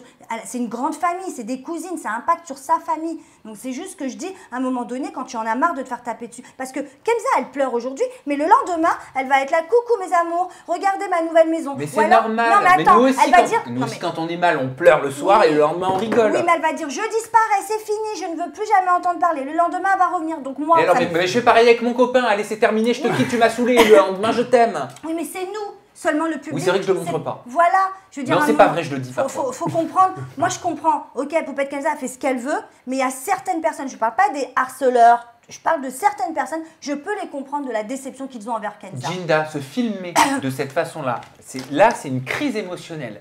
C'est une vraie crise de larmes. C'est pas un SOS quelque part Alors pour la petite histoire, euh, bah, c'est exactement ce qu'a dit Tim, c'est-à-dire que toutes ces vidéos en fait étaient enregistrées au préalable. Elle les avait filmées il y a quelques temps et elle les a ressorties là pour montrer justement euh, tout ce qui lui était arrivé ces dernières semaines. Voilà, donc euh, depuis son, ce- on en avait parlé quand. Pourquoi tu fais cette tête? Allez, dis-moi. Non, non, non. euh, Vas-y, finis et après elle mettra son grain de sel. Souvenez-vous, euh, elle, était en, elle était en voyage avec, euh, avec son chéri et- Oui. et, sa fille Oui. et elle avait été euh, cambriolée. Et en fait, à partir de là, elle avait, elle avait enregistré tout ce qui lui arrivait euh, dans sa vie, dans son téléphone et elle a décidé de tout montrer ensuite sur les réseaux sociaux. Après, oui. Euh, on, peut, on peut ne pas comprendre le fait de se filmer en train de pleurer. Euh, moi, ça me choque plus parce que beaucoup, beaucoup le font. Mais c'est vrai qu'à chaque fois, je vais me dire, mais attends, mais à la seconde où tu as pris ton téléphone et que tu as appuyé sur enregistrer, tu étais, dans quelle dans quelle émotion? Au moment où tu l'as éteint, c'est moi, je me pose cette question-là. Mais Poupette Kenza, elle est spéciale comme influenceuse. Moi, je vais employer le mot spécial. Elle, elle a une très, très forte communauté qui l'apprécie. Et elle a énormément de haters. J'ai jamais vu ça de ma vie. On l'a répété, on l'a répété ici. Je pense qu'elle est euh, 4-5 fois par semaine euh, entêtée sur Twitter. Tellement elle a une communauté, euh, des, des- des haters euh, de ouf. Euh, maintenant, elle a pris cette habitude de tout montrer sur ses réseaux sociaux. Et quand je dis tout, bah, c'est vraiment tout, jusqu'à sa culotte, et, et effectivement. Donc se montrer en train de pleurer à côté de ça, limite, euh, c'est pas grand-chose. Alors j'aimerais maintenant qu'on fasse la synthèse de ces trois cas et qu'on élargisse la question du cyberharcèlement. J'ai j'ai quelques questions à vous poser, donc je vais vous demander qu'on ne parte pas dans le débat à chaque question, mais qu'on fasse un rapide tour de table à Ouais. chaque fois. N'avez-vous pas l'impression parfois que le cyberharcèlement ou le harcèlement en ligne est parfois utilisé aussi à tout va, Ah. comme à une époque certains utilisaient l'expression pervers narcissique Ah, oui. Je parle pas de ces cas-là, là je parle en général. Oui. Tim, rapide. Euh, ouais, euh, ouais. T'en as certains qui vont. Après, euh, c'est tellement horrible ce truc, mais je sais qu'il y en a qui se victimisent et qui se mettent en scène et utilisent ça pour attirer la sympathie des gens. Et je pense que c'est surtout les jeunes qui font ça, les plus jeunes. Et euh, je trouve ça insupportable. Anissa Ah bah moi, je pense qu'il y en a qui le font pour attirer justement euh, des, des gens pour mieux vendre leur placement de produits. Jinda C'est le mot à la mode. C'est triste à dire, alors qu'il y a des gens qui vivent vraiment du vrai harcèlement, mais tu en as d'autres qui vont profiter de ça parce que c'est le mot tendance. Ben, quand tu vois ce qui s'est passé avec Mavachou, avec plusieurs personnes enfin, qui, se Mm. sont, qui se sont retirées la vie comme ça, justement, moi je je vais en- encore prendre l'exemple de Poupette Kenza. À un moment donné, quand tu vois ce qui s'est passé et que tu vois toi dans quel état ça te met, tous ces commentaires et tous ces haters, prends du recul, arrête un petit peu. Mais oui, malheureusement, pourquoi elle peut pas? Parce qu'elle vit de ça. Mhm. Elle vit de tous ces buzz. Elle vit de, de- En fait, si jamais elle fait pas tous ces buzz, elle ne, elle ne vendra plus ses placements de produits. Tu vois ce que c'est ça que je Jinda, est-ce qu'on n'est pas tous à un moment donné victimes de cyberharcèlement? Ah oui. Après, il y a des degrés euh, différents, mais tous, euh, que ce soit euh, 1, 2, 3, 4, 5 messages, euh, 10 messages, euh, ça reste du harcèlement. C'est des propos aussi, hein, le, le harcèlement. Il y a la répétition dans le harcèlement, mais il y a aussi les mots qui sont employés. Et on y, est, on y a tous été euh, confrontés à un moment donné de notre vie. Il y en a d'autres, par contre, où ils arrivent à un degré de harcèlement, où pour moi, je peux comprendre qu'ils puissent en parler après publiquement, parce qu'ils ont besoin de Ah bah tiens, soutien. ju- ju- justement, Tim, est-ce qu'il faut, selon toi, obligatoirement verbaliser publiquement Ah. son cyberharcèlement pour être vu comme une victime de cyberharcèlement? Parce qu'on a l'impression parfois que tu ne peux pas être victime de cyberharcèlement si tu ne le dis pas. Mais est-ce qu'il n'y a pas aussi toute une partie d'influenceurs ou de personnes, d'utilisateurs des réseaux sociaux qui ne veulent pas le dire, peut-être par pudeur, pour des raisons qui nous échappent, mais qui pourtant souffrent terriblement? Mais pour aussi éviter de rajouter des gens Exactement. qui ils viennent en meute parce que du C'est coup ça. tu montres que ça t'affecte et du coup tu as des gens en fait, qui en fait ils te détestent pas hein, mais ils te voient déstabilisé ils font ah, sais quoi j'ai Ouais. deux minutes vas-y je t'envoie un petit commentaire en plus après ça s'empile donc t'as pas envie qu'il y ait cet euh, effet de meute sur toi en fait Moi, dernièrement, j'ai été victime euh, d'un cyberharcèlement il y a quelques semaines à coup de plus de, de- de 40 stories avec des atrocités, des mots qu'on utilisés où c'est même pas des vies qui m'ont été inventées, c'est plus que des fausses allégations, c'est des choses horribles qui ont été dites. Euh, j'en ai pas parlé. Ouais. Et j'en parlerai pas, je vous donnerai pas les détails, mais j'en ai pas parlé parce que je parle pour moi, en mon cas, je n'ai pas envie, je ne ressens pas le besoin Ouais. de dire ah bah j'ai été cyberharcelé ah regardez on m'a traité de ci on m'a traité de ça on m'a dit que je faisais ça le matin on m'a dit que je faisais ça le soir on m'a dit que j'allais dans ce, ce type d'endroit je, je- et, et pourtant j'ai l'impression que si je le dis pas je peux pas être victime je peux Ouais, pas souffrir parce que ça. je l'ai pas dit je l'ai pas verbalisé donc en fait ça n'existe pas Mm. aux yeux des gens et il y a toute une catégorie de personnes qui ah hop ah, ah non ah, t'as dit ça? Je suis victime de cyberharcèlement Ouais, Ouais. c'est- trop Ah, vrai. je suis victime de cyberharcèlement C'est et ça ça m'énerve C'est trop vrai. Oui, Je vous et dis, puis- ça m'énerve. Et puis, et puis tu n'en as pas parlé et tout va bien aujourd'hui. Oui. Voilà, tu vois, et- mais il y, en a, y en a qui vont sentir le besoin d'en parler tout de suite parce que peut-être que pour eux, ça va les libérer. Mais Tim, encore une fois, décidément, je suis beaucoup d'accord avec toi aujourd'hui. Il a raison. C'est-à-dire, arrêtez de rigoler. hein. Euh, non, non, mais euh, il, il- il a raison. Il y en a, limite, ils attendent ça. Ils attendent que tu repostes leur message de haine. Tu vois ce que je veux dire? C'est-à-dire, bon, tu es un hater, tu as envoyé un message de haine à Anissa dans le but que Anissa te reposte et que toi, derrière, tu dis...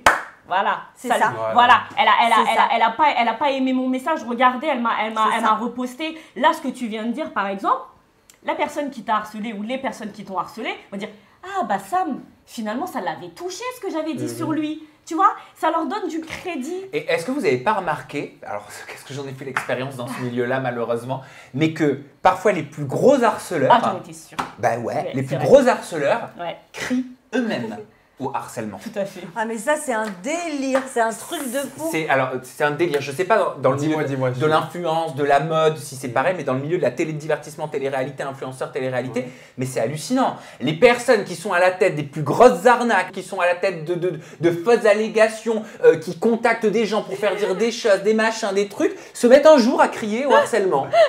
Tu vois, mais c'est, les personnes, non mais les personnes qui dénigrent même sur les réseaux, qui vont, qui, qui, qui vont utiliser des mots incroyables, bah, ce, ce- ce- le, le lendemain vont dire, je, ah, on me cyberharcèle, on parle tout le temps de moi. Mais déjà, mais c'est comme certaines personnes, des, des, des haters, hein, des, des harceleurs, qui vont dire non mais qu'on est instable, qu'on est psychologiquement atteint, alors que ce sont eux qui sont complètement atteints. Et en fait, tout ce que eux sont, ils nous le rejettent sur nous. Allô C'est toi qui as un problème qui vient parler de nous. On ne te connaît pas en a, fait a- à la base. il y a un problème avec l'expression cyberharcèlement, avec le harcèlement. Il faut surtout pas tomber dans le phénomène de mode. C'est pas un mot qui malheureusement, c'est pas une situation, une émotion qui doit euh, servir à autre chose pour manipuler.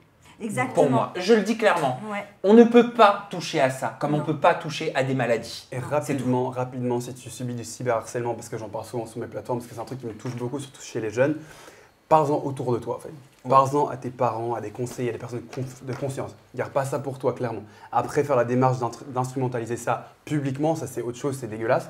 Mais si tu es vraiment victime de cyberharcèlement, parle-en autour de toi. Reste pas tout Bien seul. sûr, là-dedans. parce que moi je pense, tu as tout à fait raison, Tim. Je pense à toutes ces personnes, tous ces jeunes, garçons, hommes, femmes, femmes, filles, adolescents, qui voient tous ces gens crier au cyberharcèlement, qui en font eux-mêmes. Donc on ne sait plus véritablement ce que ça veut dire. Et quand ça t'arrive vraiment, tu te dis, bah, en fait, non, je vais rien dire. Ouais, c'est ça. Tu vois? Eh ben non, eh ben non, je vous l'ai déjà dit, mais si vous, vous, vous voyez sur vous des contenus illicites tournés sur Internet, des menaces, des intimidations, euh, des vulgarités, de la violence, de la haine, vous pouvez si- signaler tous ces messages sur la plateforme proposée par le gouvernement qui s'appelle Pharos. Ah, c'est cool. Bah oui, Ouais. on vous met le lien ça. dans la, dans la description de, de la vidéo. Au bout d'un moment, il faut agir. Il faut agir et, et même euh, tu peux aussi aller euh, déposer plainte hein, si, Mhm. euh, si ça fonctionne Parce que pas. c'est un délit. C'est- C'est c'est un délit, c'est puni par la loi, donc euh, n'hésitez pas à le faire. On a tendance à croire que ah c'est juste une petite insulte raciste, ah c'est juste euh, oh non c'est juste un propos homophobe, c'est rien. Non, c'est très grave et c'est puni par la loi. Et on a, on a excuse-moi, on a aussi tendance à croire que les plaintes ne seront pas prises, sauf que là, les plaintes sont de plus en plus euh, prises au sérieux. Donc n'hésitez pas, c'est à, oui, à- n'hésitez pas à aller porter plainte, ne lâchez jamais l'affaire contre quelqu'un qui vous harcèle. Je vous le dis, ça marchera à la fin. Et n'ayez jamais peur de vos harceleurs qui se disent eux-mêmes harcelés. Non, On passe, tout, on passe tout de suite à un nouveau pop-up people.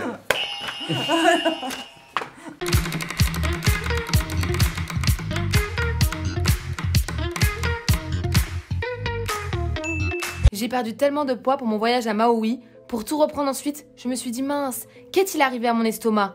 Mon mari m'a dit. Mais non, tu as juste un peu trop mangé. Donc j'ai fait un test de grossesse. Et voilà, je suis enceinte C'est difficile parce que quand j'étais enceinte, j'ai fait une dépression périnatale. Je dois dire que c'était absolument horrible. Les femmes n'en parlaient pas du tout à l'époque et certaines personnes considéraient que c'était dangereux si une femme se plaignait de cette manière tout en étant enceinte. Cette fois-ci, je ferai du yoga chaque jour. Alors il paraît, voilà, on m'a dit que on vous avait donné des commentaires négatifs sur l'annonce de la grossesse de Britney Spears pour son troisième enfant. Voilà, les agiatrices et agitateurs savent que je suis un grand fan depuis euh, très longtemps. Comment t'es déjà quand tu, fais- quand tu vas au concert de Britney Spears? Oh, arrête. On pourra la mettre s'il vous plaît en post-prod Oh, allez, ça y est, je voilà. T'as jamais vu, il vaut mieux pas. Non. Il Ah vaut ouais, mieux pas, d'accord. Bon, alors apparemment, on vous a donné des commentaires négatifs pour me faire réagir. Moi, je les ai pas le commentaire et je les aurais jamais approuvés. Oula D'ailleurs, quel que soit le commentaire, il n'y a pas de négativité commencer. sur Britney. Allez, C'est horrible cette séquence, hein. Mais non, ça va bien se passer. Respire. je dois réagir, c'est ça? À ce qui paraît. Ce tu vas réagir de toute On façon. va retirer son bic, sinon on va me le Ouais. planter son stylo là. Alors, Lucie, pauvre gosse sérieux, une mère complètement ravagée dans Pardon sa tête et par les drogues. Non mais ça va pas Il est trop fort. Non mais ça mais c'est n'importe quoi. Alors déjà c'est des fausses suppositions. Il y avait des histoires qu'à l'époque où elle s'était rasé la, la tête, c'était pour pas que dans les ADN il y ait de la drogue ou que ce soit vu ou tout ça. Mais c'est n'importe quoi. Mais comment tu peux parler comme ça d'une femme tout court?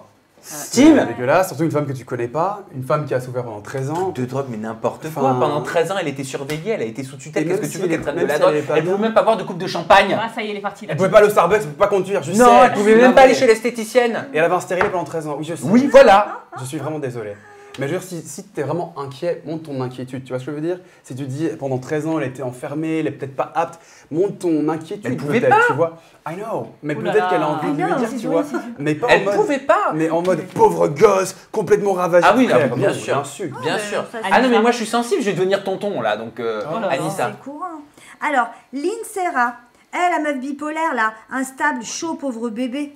Mais ça va pas. Alors, mais la bipolarité, c'est une maladie. euh, c'est horrible. On grave, ne se hein. sert pas de la bipolarité comme une insulte. Oui, elle est bipolaire, Britney Spears, et elle en souffre très certainement. Et alors Et alors, ouais, exactement, Bah je suis oui. d'accord Et avec alors, toi. c'est très bien qu'elle l'assume. Mais je te rassure. Moi, j'attends ses mémoires parce qu'elle est en train d'écrire son livre. Bon livre là, on Je te rassure, il y, a Bien toujours, sûr. il y a toujours des têtes de cul, excusez-moi, pour venir l'ouvrir sur l'éducation ou peu importe. Moi, on me l'a fait, t'inquiète pas aussi. hein. Je ne suis, pas Britney Spears, mais on me l'a fait aussi. Et à cette heure-ci, je pense que mon fils est mieux élevé que certaines personnes qui viennent J'ai ouvrir leur Je suis bouche. bien d'accord. Jinda, t'as quoi dans ton sac j'ai peur de le lire, moi, mon, mon Ah bon? Vous avez gardé Ouais. le pire pour la fin À ce qui paraît, bah toujours moi la méchante. Allez, vas-y. Euh, c'est un commentaire de Caroline qui dit Britney en roue libre. À peine trois mois qu'elle n'est plus sous tutelle et déjà enceinte, n'importe quoi. Et à 40 ans en plus. Elle est tellement inconsciente et son Sam, je n'en parle même pas. Son Sam Oui, pas toi. Ah, son Sam, ah oui, c'est vrai. comme Ah non, mais tu sais ce que c'est la chose positive dans l'histoire C'est quand, euh, quand elle a conçu son bébé, elle a dû dire Oh Sam Oh, non, veux Sam Oh yeah Sam One more time, Sam Sa plus grande victoire. Mais c'est lui tu, le père mais de tu- Britney tu en fait. coucherais avec elle? Ah non. Bah. Et le commentaire, de, le, commentaire, le commentaire de Caroline, ça va te... L'âge, si elle n'a pas la ménopause et qu'elle a envie de faire son enfant, alors aujourd'hui les femmes elles ont la possibilité de faire des enfants même beaucoup plus tard, si c'est pas dangereux pour l'enfant, et ben qu'elle y aille. Et ensuite pendant 13 ans elle n'a pas eu de vie. Sa vie de femme elle n'a pas pu la vivre. Bien Donc sûr. il est normal qu'à 40 ans elle ait envie de mettre au monde l'enfant qu'elle ne peut pas avoir depuis des années. Elle en avait ras le cul d'être à Las Vegas. Ok, voilà. Merci.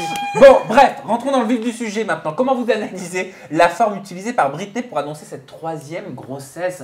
Elle a surpris tout le monde avec une photo en plus Pinterest. Non mais euh, moi, moi je vais rester dans les commentaires un peu, tu vas me défoncer, mais euh, chelou son, chelou sa façon d'annoncer ça. Pourquoi? Bah parce que ça ressemble à du Britney quoi. En ce moment elle, est, elle fait des, des vidéos un peu bizarres, elle poste des trucs un peu bizarres sur son compte. Arrête de me regarder comme ça. Non mais je dirais, je vais essayer de garder mon rôle de, de journaliste que Mais je non ne suis mais pas. on va pas se mentir, elle fait des trucs un peu chelous, elle poste des vidéos un peu bizarres, elle danse un peu bizarrement. Ce qui est bizarre pour toi est quelque chose de totalement normal pour quelqu'un d'autre. En Alors- tout cas, en tout cas, son annonce, l'annonce qu'elle a, qu'elle annonce qu'elle a faite, enfin comment elle a annoncé euh, sa grossesse, moi je la trouve à la hauteur de Britney Spears euh, en ce moment. C'est-à-dire? C'est bizarre. Ah bah, mais t'aurais préféré qu'elle aille le faire dans Vanity Fair et qu'elle prenne euh, 6 millions de dollars? Non mais elle aurait pu l'annoncer déjà euh, verbalement ou euh, je sais pas avec une, une autre photo parce que sa photo elle est un peu, elle est, elle est pas représentative d'un, d'un, d'un, d'un- J'avoue, mais moi c'est Ah, cette simplicité. merci. Mais c'est cette simplicité là que j'aime Non, mais en fait, Anissa. elle est toujours là où on l'attend pas. Et là, je pense que tout le monde attendait une grande interview pour un grand magazine. Avec Oprah, mais ça va arriver. je Voilà. Et en fait, elle a voulu le faire simplement. Pourquoi? Parce qu'elle veut vivre simplement. Parce qu'elle n'est que simplicité. Elle en a marre de toute cette super fiaci, super super. pense. Oh là là, j'arrive pas super illustria, hein. qui a lidos. Hey, Pardon? Qu'est-ce qu'il m'a dit? Tu connais euh, pas? Mary Poppins. Ah non, si si, mais parce que tu sais. C'est euh, tout à fait ça, Tim. Voilà. Non mais c'est vrai, en fait, oui c'est ma génération, ça va, tu vas pas me le rappeler. Hein. Déjà que tout le monde dit que je rappelle toujours mon âge. Il y avait un commentaire qui dit non mais Anissa elle meurt si elle se parle pas de son âge. Et ben elle continuera encore plus. Ah oui, j'ai Vous savez- 45 ans, Eh, j'ai 45 et ans. Je vais vous dire une phrase que j'adore. Cultivez les reproches que les gens vous font. Ah, j'aime trop. Ah non moi ça me fait rire. hein. Il faut les cultiver. Ils sont pas méchants, hein, mais voilà, ça me Voilà. fait rire. Cultivons. Donc euh, non voilà, je disais que c'est très bien, c'est très simple, ça lui va comme un Mhm. gant d'être comme ça. Bravo Britney. Et alors, c'est quoi euh, la dépression périnatale? Parce que moi, je connaissais la dépression postpartum, le Ouais. baby blues, Baby mais blues. dépression périnatale, C'est- j'avoue, j'avais pas entendu. C'est une dépression qui apparaît pendant la grossesse ou la première année postpartum. Elle semble ne pas. euh, en fait, les personnes, les femmes ne semblent pas pouvoir se réjouir de la venue d'un enfant. Voilà. Et parfois, cela vient de circonstances difficiles, par exemple les problèmes familiaux, de couple, migration, conditions Mais matérielles. elle a eu que ça. Mais voilà. Je- Elle a eu deux gosses en deux ans aussi, non? Oui. Euh, Oui, d'ailleurs, ils sont grands, ces enfants maintenant. Oui, maintenant, ils sont grands. Voilà. Donc, euh, oui, et dans d'autres cas, la dépression n'est pas rattachable à un événement extérieur, mais à l'état intrapsychique de la future mère que la grossesse confronte à des problèmes non résolus. Bon, mais moi, je suis très heureux pour elle. Ouais. Voilà, parce qu'elle avait envie d'être mère. En plus, une autobiographie qui arrive bientôt, un bébé, peut-être une interview avec Oprah Winfrey, on Ouais. en apprendra certainement beaucoup plus. Petite déception, mais très égoïste de ma part. Ça veut dire que je la reverrai pas sur scène avant un moment. Je pourrais pas faire. Ah ouais, ça c'est Non, clair. mais en tout cas, il faut rappeler que oui, bon, moi j'en rigole comme ça, mais c'est une, c'est une, c'est une très bonne, belle nouvelle. Il faut rappeler qu'elle était euh, donc sous tutelle euh, euh, pendant, pendant des années, qu'on l'a 13 ans. pendant Mm. 13 ans. Elle, elle- elle- avait un stérilet, elle avait un De stérilet force. de force. Voilà, et, euh, et tout de suite après, parce que là, ça fait que quelques mois qu'elle est, euh, qu'il y a eu ce fameux Free euh, Britney, et que voilà, qu'elle est totalement libre. Et je trouve que euh, c'est une belle boucle, tu vois. Mm. C'est voilà, arri- l'arrivée de ce bébé, c'est vraiment un- le- la nouvelle ère de Britney Spears. Voilà, on va avoir une nouvelle Britney qui va arriver, et ça, c'est cool. Et pour terminer, j'ai fait mes calculs. Logiquement, si elle l'annonce, si elle n'est pas si bizarre que ça, elle doit en être logiquement au Trois troisième mois, à peu près, même si on voit rien Ouais. euh, sur ces vidéos. Donc l'enfant, selon mes calculs, pourrait naître au mois d'octobre 2022. Un balance. Comme moi. Ah, Comme mon quand fils. Non mais j'hallucine, il y a trop de points en commun avec mon fils, il lui ressemble, le même signe. Et donc Ben, rien. Jinda, Ah tu nous doit avoir appelles une chute le dernier pop-up people avant de passer à la question qui tue de Team on the Grill.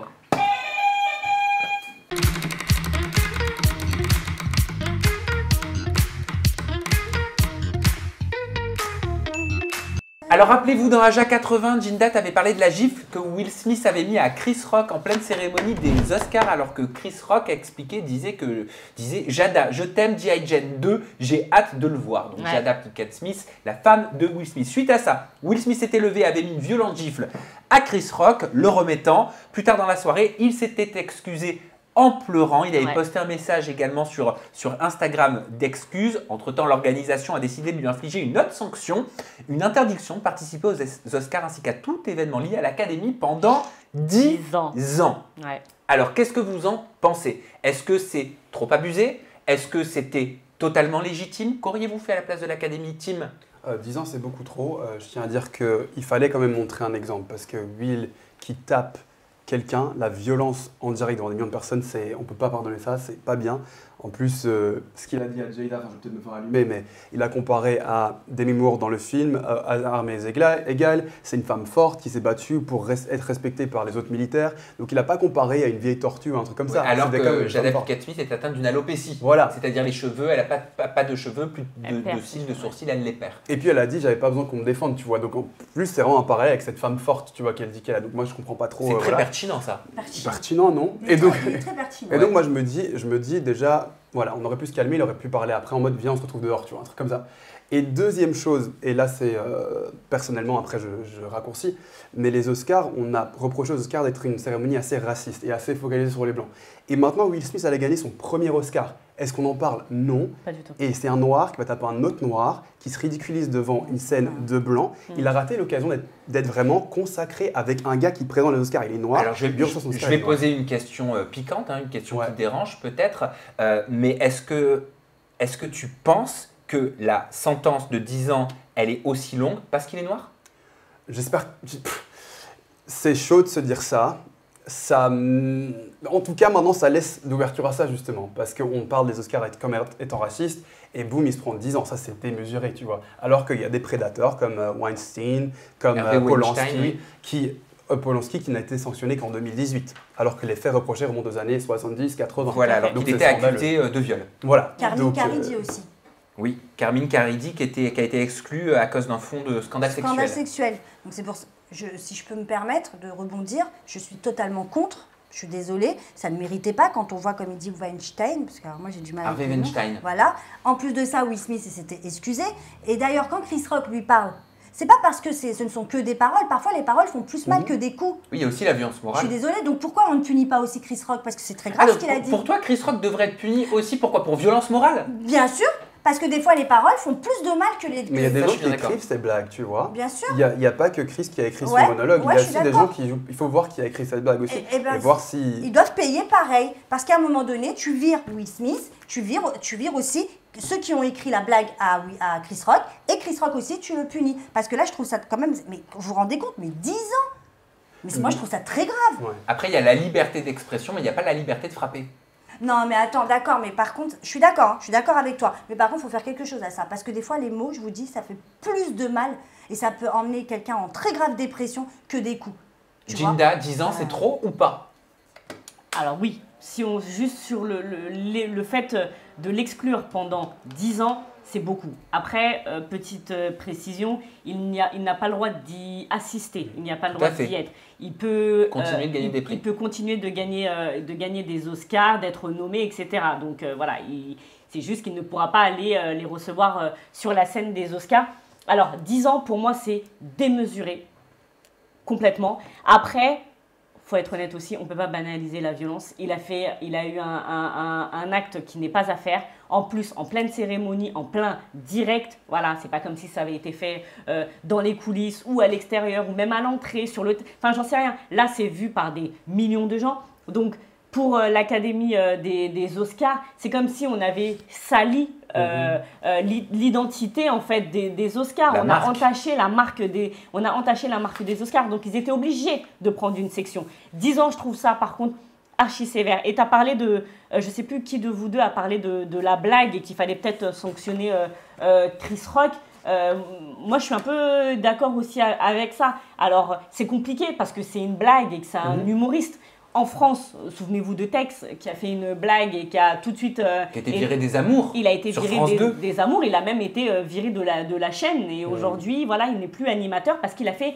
Il a fait une blague, mais Text, il est aussi humoriste avant pourquoi ils d'être. l'ont passé? C'est pas en direct. En plus, pour le sujet, c'est pas les amours, mais j'avoue, je comprends pas. Mais parce que c'est une, c'est une, c'est une blague et qu'il y a des gens qui vont trouver la blague drôle et il y a des gens qui vont trouver la blague pas drôle. Euh, Chris Rock, quand il a fait cette blague, beaucoup ont ri, Dont. Will Smith. Voilà, donc euh, c'est compliqué de, de- ça. juger et, et- exactement. Euh, maintenant, euh, moi je suis d'accord pour une sanction et comme tu l'as dit en plus, ça a tellement euh, gâché ce moment, voilà, son premier Oscar, Et etc. Sarah Williams, c'est une histoire tellement forte. Ouais. Et puis même, il y a le premier homme sourd qui a gagné un Oscar. Enfin, tu vois ce que je veux dire? Ouais, On en ça, parle ça exclut tout le reste, en ça fait. Ça Ça a étouffé tout le reste. Ça a tout Oui, mais alors le mettre au même niveau que des Weinstein, que Non, des non, ça, Carnegie, ok, enfin, on tout est ça, d'accord. enfin, c'est On pas- est d'accord. Moi, ça me. ça Mhm, Non, voilà. clairement, clairement. On est d'accord. Bon, bon, on a terminé les pop-up people. Oh. on the gram. Ça va être Team on the grill maintenant. Bah ouais, j'ai adoré. Allez, il est temps de faire arriver les lumières rouges, les flammes, la petite musique de tension.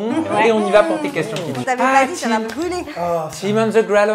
on- Non, Team on the gram on the grill. Hey, Sam Zira, Zira, Zira. J'ai entendu un autre nom avant, mais bon, bref. Sam Zizi. Ouais. Voilà, ça, ça, c'est ma seconde chaîne. Voilà, c'est ma seconde chaîne. Tim, Yes. lors d'une interview, tu as parlé de ton investissement dans la religion chrétienne et par la suite, je sais que tu as perdu à peu près 10 000 abonnés à la suite de cette interview Ouais. parce que tu as parlé de ton investissement dans la religion chrétienne. Ma question, elle est cash. Selon toi, Tim on the Gram, la religion chrétienne est-elle moins à la mode que d'autres? Euh, aux États-Unis, non. Aux États-Unis, c'est le truc. Euh, quand je suis à Los Angeles, par exemple, le mercredi soir, je vais à une étude biblique. Il y a Justin Bieber, sa femme, il y a les Kardashians parfois. Enfin, c'est un truc. L'église là-bas, Ah, c'est tu dis ça le normal, truc. Ah ouais, tu fais la church avec euh, Bah oui. Justin Bieber. Mais en fait, tu as un truc de respect parce que c'est un, endroit où tu peux te recueillir, etc. Enfin, on est euh, chrétien évangélique, donc c'est avec la musique, avec euh, célébration, etc. Ah, c'est comme Tim Glow, je crois. Ah ouais? Oui. Ah, je savais pas du tout. Bah, Dieu bénisse ma soeur. Ah, Mais c'est- euh, c'est trop chaud. en vrai, en vrai, euh, c'est euh, un truc de partage, c'est la, la fête, etc. Mais on va pas les déranger. C'est pas en mode ouais, Justin, on peut faire un selfie. Non, on est à l'église, tu vois. Donc là-bas, c'est vraiment le truc. Même pour moi, j'ai été éduqué un peu à l'américaine au niveau de l'église. C'est pour ça que je suis très ouvert. Je sais que c'est, on, les gens sont pudiques en France par rapport à la foi, etc. Et moi, je pars, si tu me dis que tu es vegan, moi je dis ouais, bah, je suis chrétien, je vais à l'église dimanche. Et pour nous, c'est le meilleur jour de la semaine où on voit la communauté, on danse, on chante, etc. Donc moi, j'ai toujours vécu comme ça, tu vois. Donc, euh, par exemple, moi, je partage ma foi, mais je suis pas en mode convertis-toi. Non, c'est pas ma démarche du tout. Moi, c'est, parti de moi, je suis comme ça, et puis voilà, je raconte. euh, Tu as dit concernant ta foi, c'est le centre de tout ce que je suis. Mhm. Je pense pas que je serais là, personne que je suis sans ça. Je partage euh, car ça fait partie de ma vie. Il y a des idées un peu arrêtées sur l'Église. L'Église, c'est le meilleur jour de la semaine. Donc ça, tu viens de nous l'expliquer. Est-ce que tu t'es déjà, à ton niveau team, par rapport à ta foi et par rapport à tes convictions et ta religion, empêché de faire certaines choses? Que tu avais Ouais. envie de faire par conviction Euh, Peut-être pas que j'avais envie de faire, mais il y a des moments où je me posais des questions. Par exemple, le simple fait de me dénuder sur les réseaux, tu vois. C'est un truc où je me suis dit, pourquoi est-ce que je me montrerais torse nu? Je vais à la salle de sport, on m'a beaucoup reproché aussi, mais te voit aller à la gym, pourquoi tu montes pas tes pecs, pourquoi tu montes pas tout ça, t'es mannequin, blablabla. Ah, Moi, je le ferais. hein. Ah bah, Mais si personnellement, j'en avais.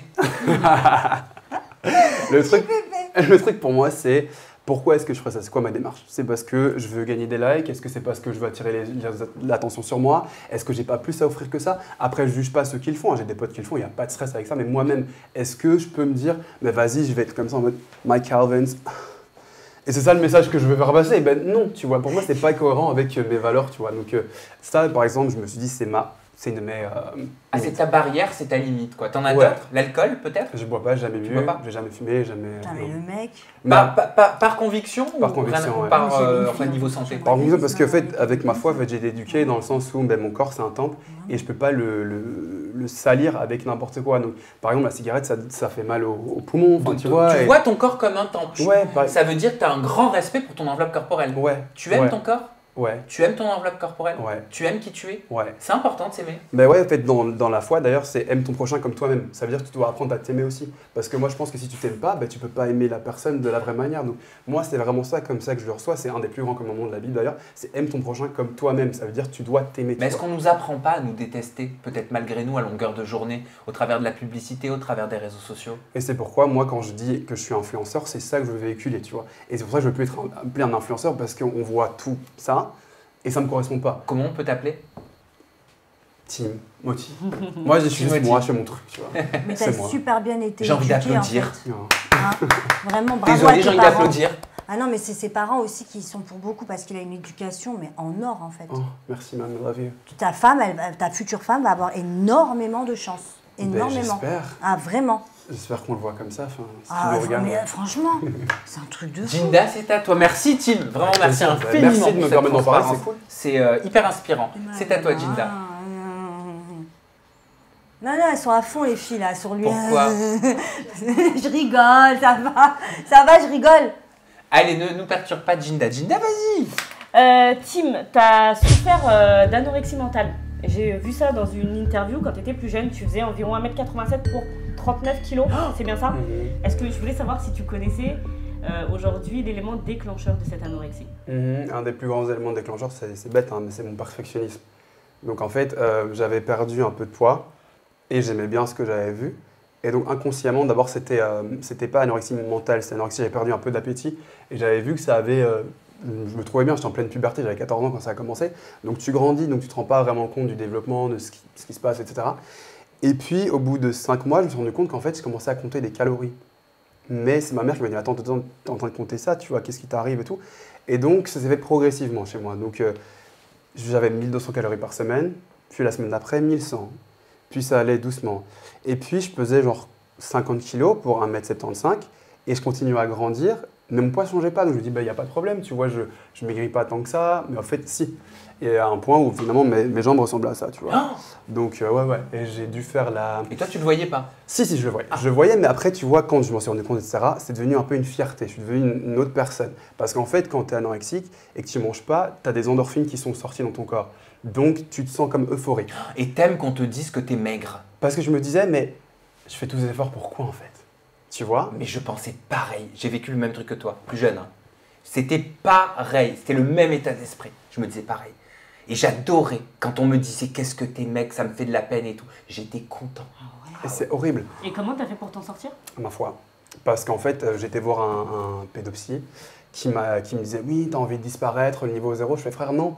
Tu crois que je- moi, je m'aime bien, tu vois. Juste que j'étais malsain. C'est une maladie mentale, il faut appeler les choses. C'est une maladie mentale. Après, ça ne veut pas dire qu'il faut, la- qu'il faut stigmatiser, les, stigmatiser les gens qui sont malades. Mais c'est une maladie mentale. Donc, euh, sachez-le, c'est quelque chose de très grave. Et tes parents, eux, ils ont. Ils ont... Ils ont essayé. Et c'est compliqué. Ça, en fait, qui me, quand j'y repense maintenant, qui me fait mal au cœur, c'est de voir ma mère qui était impuissante, tu vois, qui essaye. Voir mon père qui essayait aussi de sa manière. Et en fait, de voir ce que j'aurais fait subir, entre guillemets, parce qu'ils étaient impuissants face à ça. Et vraiment, pour la- le petit témoignage rapidement, ben, j'étais euh, chez mon médecin, parce que en fait, j'avais été hospitalisé avant, parce que je m'étais écroulé. Je faisais 44 kilos, j'avais plus aucun minéraux dans le sang, etc. Il fallait me mettre en sous Baxter pour euh, que mon sang soit plus de la flotte, tu vois, parce que je buvais genre 10 litres d'eau par jour. Et en gros, euh, et en gros ben, je suis arrivé chez mon généraliste, ma généraliste, et euh, je me suis pesé. D'ailleurs, je refusais à ce qu'on me regarde manger ou me peser. Et j'ai vu 39,6. D'ailleurs, ça reste dans ma tête. Et là, j'ai dit OK. C'était l'époque où tous les mannequins anorexiques mouraient. Il y avait la femme qui a fait la campagne Benetton, Oui. euh, Isabelle, qui repose en paix. Plein de trucs comme ça. Et je me suis dit, mais OK, Dieu, si je suis encore vivant, c'est qu'il y a un but, tu vois, c'est qu'il y a une raison. Et je ne sais pas ce que c'est, mais je ne peux pas y arriver tout seul. Et donc, j'ai prié, j'ai dit, OK, j'ai besoin de ton aide. Et puis, j'ai senti cette chaleur physique comme ça. Et ça m'a aidé. J'étais dans le supermarché, au Carrefour, représente. Et j'étais en train de chialer en regardant les, les- les- les trucs de bouffe. J'étais comme ça. Et ça allait pas, tu vois. Mais j'ai senti cette force qui venait pas de moi. Et puis voilà, on peut débattre. J'ai pas envie de débattre avec ça. Moi, c'est mon expérience à moi. Et c'est ça qui m'a sauvé. T'étais déjà mannequin à ce moment-là quand t'avais. euh, Non, non, non, non. Ah, t'étais pas encore mannequin, t'avais cette volonté de devenir mannequin? Pas vraiment. En Ah, fait, ok. ben, pendant que j'étais malade, ben, j'ai vu un, un défilé à la télé. Je me dis, oh, ça a l'air cool, tu vois. Parce que de base, je voulais être acteur. Et puis après, j'ai vu ça. Je me dis, oh, c'est top, tu vois. Je suis grand, je suis mince, voilà. Parce qu'il y a beaucoup de. Malheureusement, on entend beaucoup de problèmes d'anorexie euh, dans ce milieu-là, du. Ouais, du, du hein. mannequinat. Donc quand t'es rentré dedans, t'avais pas peur de retomber dedans? Non, parce qu'en fait, je savais d'où je venais. Donc, euh, pour moi, c'était peser 55 kilos. Moi, c'était déjà énorme, tu vois. Donc, euh, voilà. Après, j'ai eu un agent quand je faisais, je fais 64 kilos et j'ai signé mon premier contrat international qui m'avait dit, ok, tu vas devoir perdre un peu de poids, tu vois. Je fais frère, je suis Oh là 1m96, là. 64 kilos, tu vois. Et j'étais faim, tu vois. Et euh, là, je me dis, ok. Donc, j'ai coupé le pain, les pâtes, etc. Je pesais 60 kilos. Ok. Donc, mais vu que je savais d'où je venais avant, moi, j'avais pas peur, tu vois. 60 kilos pour 1m87, euh, tranquille. J'avais fait 30 Quand même, ça fait quand même 27 kilos de moins, c'est très mince. Ouais, hein. ouais, j'étais très mince. Mais quand je suis arrivé à Paris pendant une des Fashion Week, je vais pas dire qui c'est, mais j'ai fait un casting pour une marque. euh, J'étais trop gros. Une grande marque Mhm. T'étais De luxe gros. Que tu portes aujourd'hui, mais on ne dit rien. Ah, tu connais? Ouais, ouais, ouais. J'ai eu Ah, ton d'accord, étiquette bah, et deux, et deux, quelqu'un d'autre qui m'a vu. J'ai dû défiler devant la personne, elle m'a dit ouais. Trop gros. Je fais Mais, 100 c'est- kilos. mais quand est-ce que ça va changer Et là où je- la et les gens pensent, les gens posent aux femmes, mais Paris, pour les mecs, c'est insoupçonné parce que tu dis ouais ils sont grands comme ça. Mes frères, ils sont maigres, maigres. C'est pour ça que moi j'ai arrêté de faire les Fashion Week à Paris et maintenant je retourne à Milan en juin parce que eux ils veulent des gens. C'est horrible parce qu'en fait quand j'étais à Milan, j'étais trop maigre. Donc en gros quand t'es mannequin Ah et que tu vas, tu pètes un câble. Faut que tu t'adaptes en fonction Horrible. de. Là aujourd'hui, tout va bien avec ton corps? Ouais, ouais, ouais, je suis très bien. Là, je veux juste euh, reprendre la, la sport parce que le confinement, ça m'a cassé la tête, j'ai perdu du poids, enfin bref. Mais euh, ça va. Ok. Merci Jinda et merci, merci pour ta question et merci pour ta réponse Tim. Anissa c'est à toi, tu peux passer Oui. Tim sur ton grill. Alors, Tim, sur mon grill, attention. Il y a un an et demi, avant que tu rentres des États-Unis, il y avait une chaîne de télé euh, en Belgique qui Mhm. voulait que tu passes le casting pour être acteur dans une série. Ouais, Tu as reçu un mail que tu n'aurais Ouais. jamais dû recevoir. Tu te rappelles de cette histoire très très bien. Euh, Ça stipulait dans ce mail qu'il n'avait pas le quota des couleurs dans la série. Oh là là, c'est pas. Ouais, c'est- c'est c'est- c'est virulent, c'est très violent. As-tu l'impression dans le milieu artistique d'être réduit à un quota de part par rapport à ta couleur de peau? Ouais. Énormément d'hypocrisie, tu vois. Là, Je vais vite, vite fait, parce qu'il y en a qui vont dire Vous êtes jamais content, vous Vous payez quand vous n'êtes pas assez, et puis quand vous. Non. Le truc, rapidement, je ne veux pas être pris à cause de ma couleur de peau, et je ne veux pas ne pas être pris à cause de ma couleur de peau.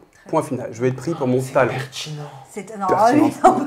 Parce que pour moi, c'est on prend Tim parce que t'es balèze, t'es talentueux, ou bien on ne prend pas parce que tu correspondais pas au bail, ou bien parce que t'as as raté ton audition.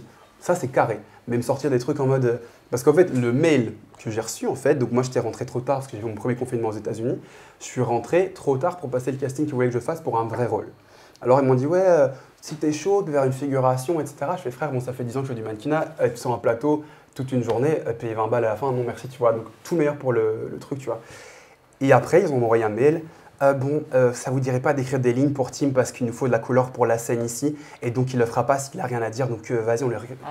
Alors j'ai dit ok donc moi j'ai pris 10 jours j'étais ok Seigneur aide-moi parce que j'allais répondre mais tu sais Bah oui. voilà j'ai répondu une tartine comme ça ils se sont fait pipi dessus et ils sont venus s'excuser non en fait c'est important pour nous la représentation je fais ouais bon Et tu Non. ressens quoi, toi, face à ce quota? Enfin, Qu'est-ce que t'en penses? Ben, du coup on devient comme des euh, ouais comment on dit ça en français? C'est horrible de dire ça comme Vas-y ça dis-le je suis- en anglais. Hein. prop, tu vois, quand un accessoire. Tu deviens un accessoire en fait. Parce que tu te dis, j'ai mon métier de service, j'ai mon brun, j'ai mon noir, ok, on a ce qu'il faut, tu vois. Et c'est horrible. C'est horrible de se sentir comme ça parce qu'on est objectifié du coup.